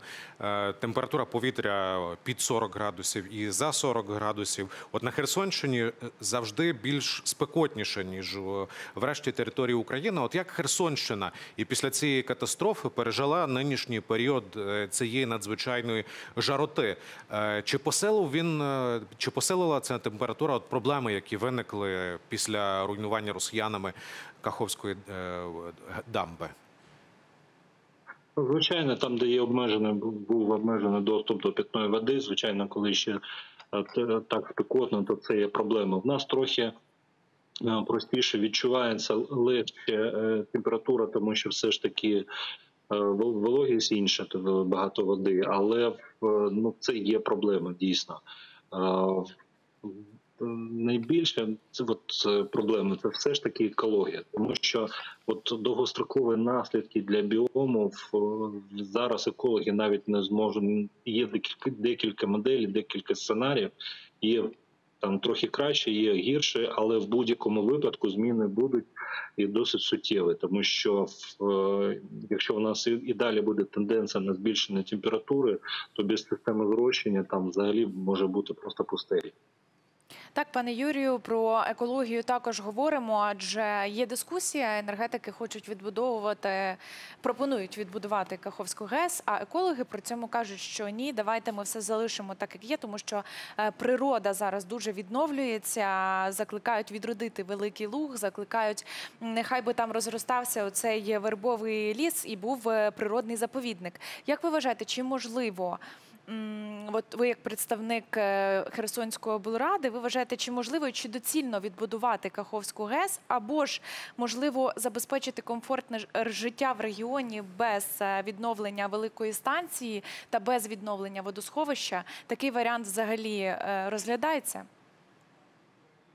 Є декілька думок, ви абсолютно правильно зазначили. Є ще позиція наших археологів, істориків, які так само категорично проти того, тому що вони хочуть повноцінно проводити дослідження, тому що дуже багато артефактів навіть зараз знаходять, незважаючи на дуже складні безпекові умови. Е, Знаєте, екологи ну вони завжди на боці природи, і будь-які втручання в е, природу для них є негативом. І насправді дійсно є і в країнах Євросоюзу певний тренд е, щодо е, того, щоб не, не будувати нові гідроелектростанції, нові такі от водосховища, а навпаки повертати це в природний стан. Але потрібно розуміти, що ну, по-перше, в нас є дуже велика потреба в електрогенерації, і за сучасними технологіями там можна побудувати досить потужну станцію, і це необхідно в всій Україні. Ну і по-друге, все ж таки Херсонщина це дійсно аграрний край. Найбільше у нас е, саме завдяки е, аграрної продукції в- формувався наш ВВП. Да? І тому ну без системи зрощення, навіть якщо брати там сучасне там крапельне зрощення, ну в будь-якому випадку ці канали потрібні. Ну і на перспективу після деокупації Крима е, безумовно для водозабезпечення Криму так само потрібно буде це водосховище, тому що Кримський канал без нього він не буде працювати. Я підписаний на стрічку новин військової адміністрації вашого регіону, і не існує таких днів, щоб не було обстрілів на Херсонщині, особливо в населених пунктах, які от в Придніпрянській зоні розташовані. Зрозуміло, що важко вживати якихось заходів або проводити якісь заходи, коли тривають ось такі активні бойові е, дії, коли росіяни так сильно обстрілюють. Однак, е, що можна робити уже зараз, навіть в таких складних умовах, аби виправити цю ситуацію? Те, що зараз робиться, і безпосередньо і розпочали це робити е, безпосередньо після вчинення теракту російського, це контроль за екологічним станом для того, щоб не, не було в нас епідемій, і завдяки е, ну, повноцінної евакуаційної кампанії і знищенню наслідків від цього теракту. Нам вдалося е, зберегти контрольовану епідемічну ситуацію в регіоні. В нас не було спалахів будь-яких інфекційних хвороб. Постійно е, моніторинг проводиться і е, свердловин по якості води у всіх громадах, там, де є відхилення. Е, Б'ють нові нові свердловини, закривають або там тимчасово припиняють експлуатацію тих, е, там де є відхилення від норми. Контроль якості води в Дніпрі так само він постійно відстежується, відправляється в лабораторії. Це те, що можна робити зараз. Будь-які відновлення надзвичайно там неможливо, тому що це зона активних бойових дій. Е, Тому будь-які роботи там неможливі зараз. Пане Юрію, протягом нашої розмови кілька разів е, ми згадували про те, що Херсонщина це аграрний край, і е, проблема з поливом і проблеми аграріїв вони ну колосальні зараз після е, того, як росіяни зруйнували дамбу. Які культури зараз через труднощі з цим поливом і зрошенням аграріям найскладніше вирощувати? І я думаю, що багатьох цікавить, чи вродили кавуни на баштанах, яка ситуація із цим? Е, Дивіться, вони є, і їх значно більше ніж в прошлому році, і вони все такі ж смачненькі насправді. І дякую нашим фермерам. Вони навіть в цих дуже складних умовах працюють. Причому знаєте, що приємно е, працюють аграрії, які до цього працювали на е, лівобережній частині Херсонщини, але після окупації вони залишили там все, вони відмовились працювати е, під контролем ворога. Приїхали вже тут, знаходили земельні ділянки, оформили і розпочинали е, розпочали от обробляти ці земельні ділянки. Є такі в нас випадки. Це насправді дуже приємно. Ем, Щодо культур, ті, які потребували от, дуже багато води, зараз е, ну практично неможливо це робити. Це більше стосується все ж таки зараз тимчасово окупованої території, там ріс в першу чергу, е, інші. Е, на нашій території контрольованій е, це не є, скажімо так, критичною проблемою, тому що знов таки аграрії там знайшли альтернативи щодо е, по зрощенню за рахунок нових свердловин в першу чергу. Е, Тому вони так сильно не залежать від каналів, як це е, відбувається зараз на тимчасово окупованій території.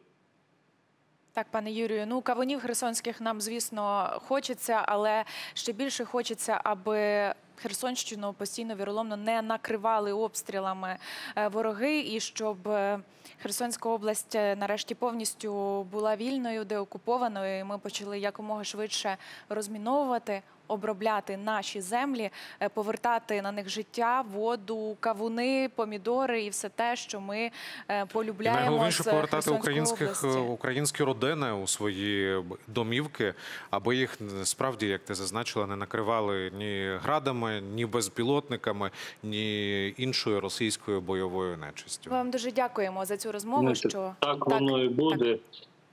Так воно і буде. Я просто хочу нагадати, що коли е, російська окупація вивішувала борди в Херсоні, Росія тут назавжди з текстом, то десь через е, тиждень вони вже тікали на інший берег. Буде так само за всією нашою територією, щоб вони там не казали, щоб їх пропаганда не розповідала, що це якісь там нові російські території. Це хвора фантазія. Це Україна завжди була і завжди буде Україна. Так підкреслюємо це, і це факт. Дякуємо вам, пане Юрію. Це був Юрій Соболевський, Дякую, перший заступник голови Херсонської облради. А також дякуємо нашим глядачам, які сьогодні були з нами протягом підсумки вечора. Для вас працювали Яся Лепка та Віталій Школьний.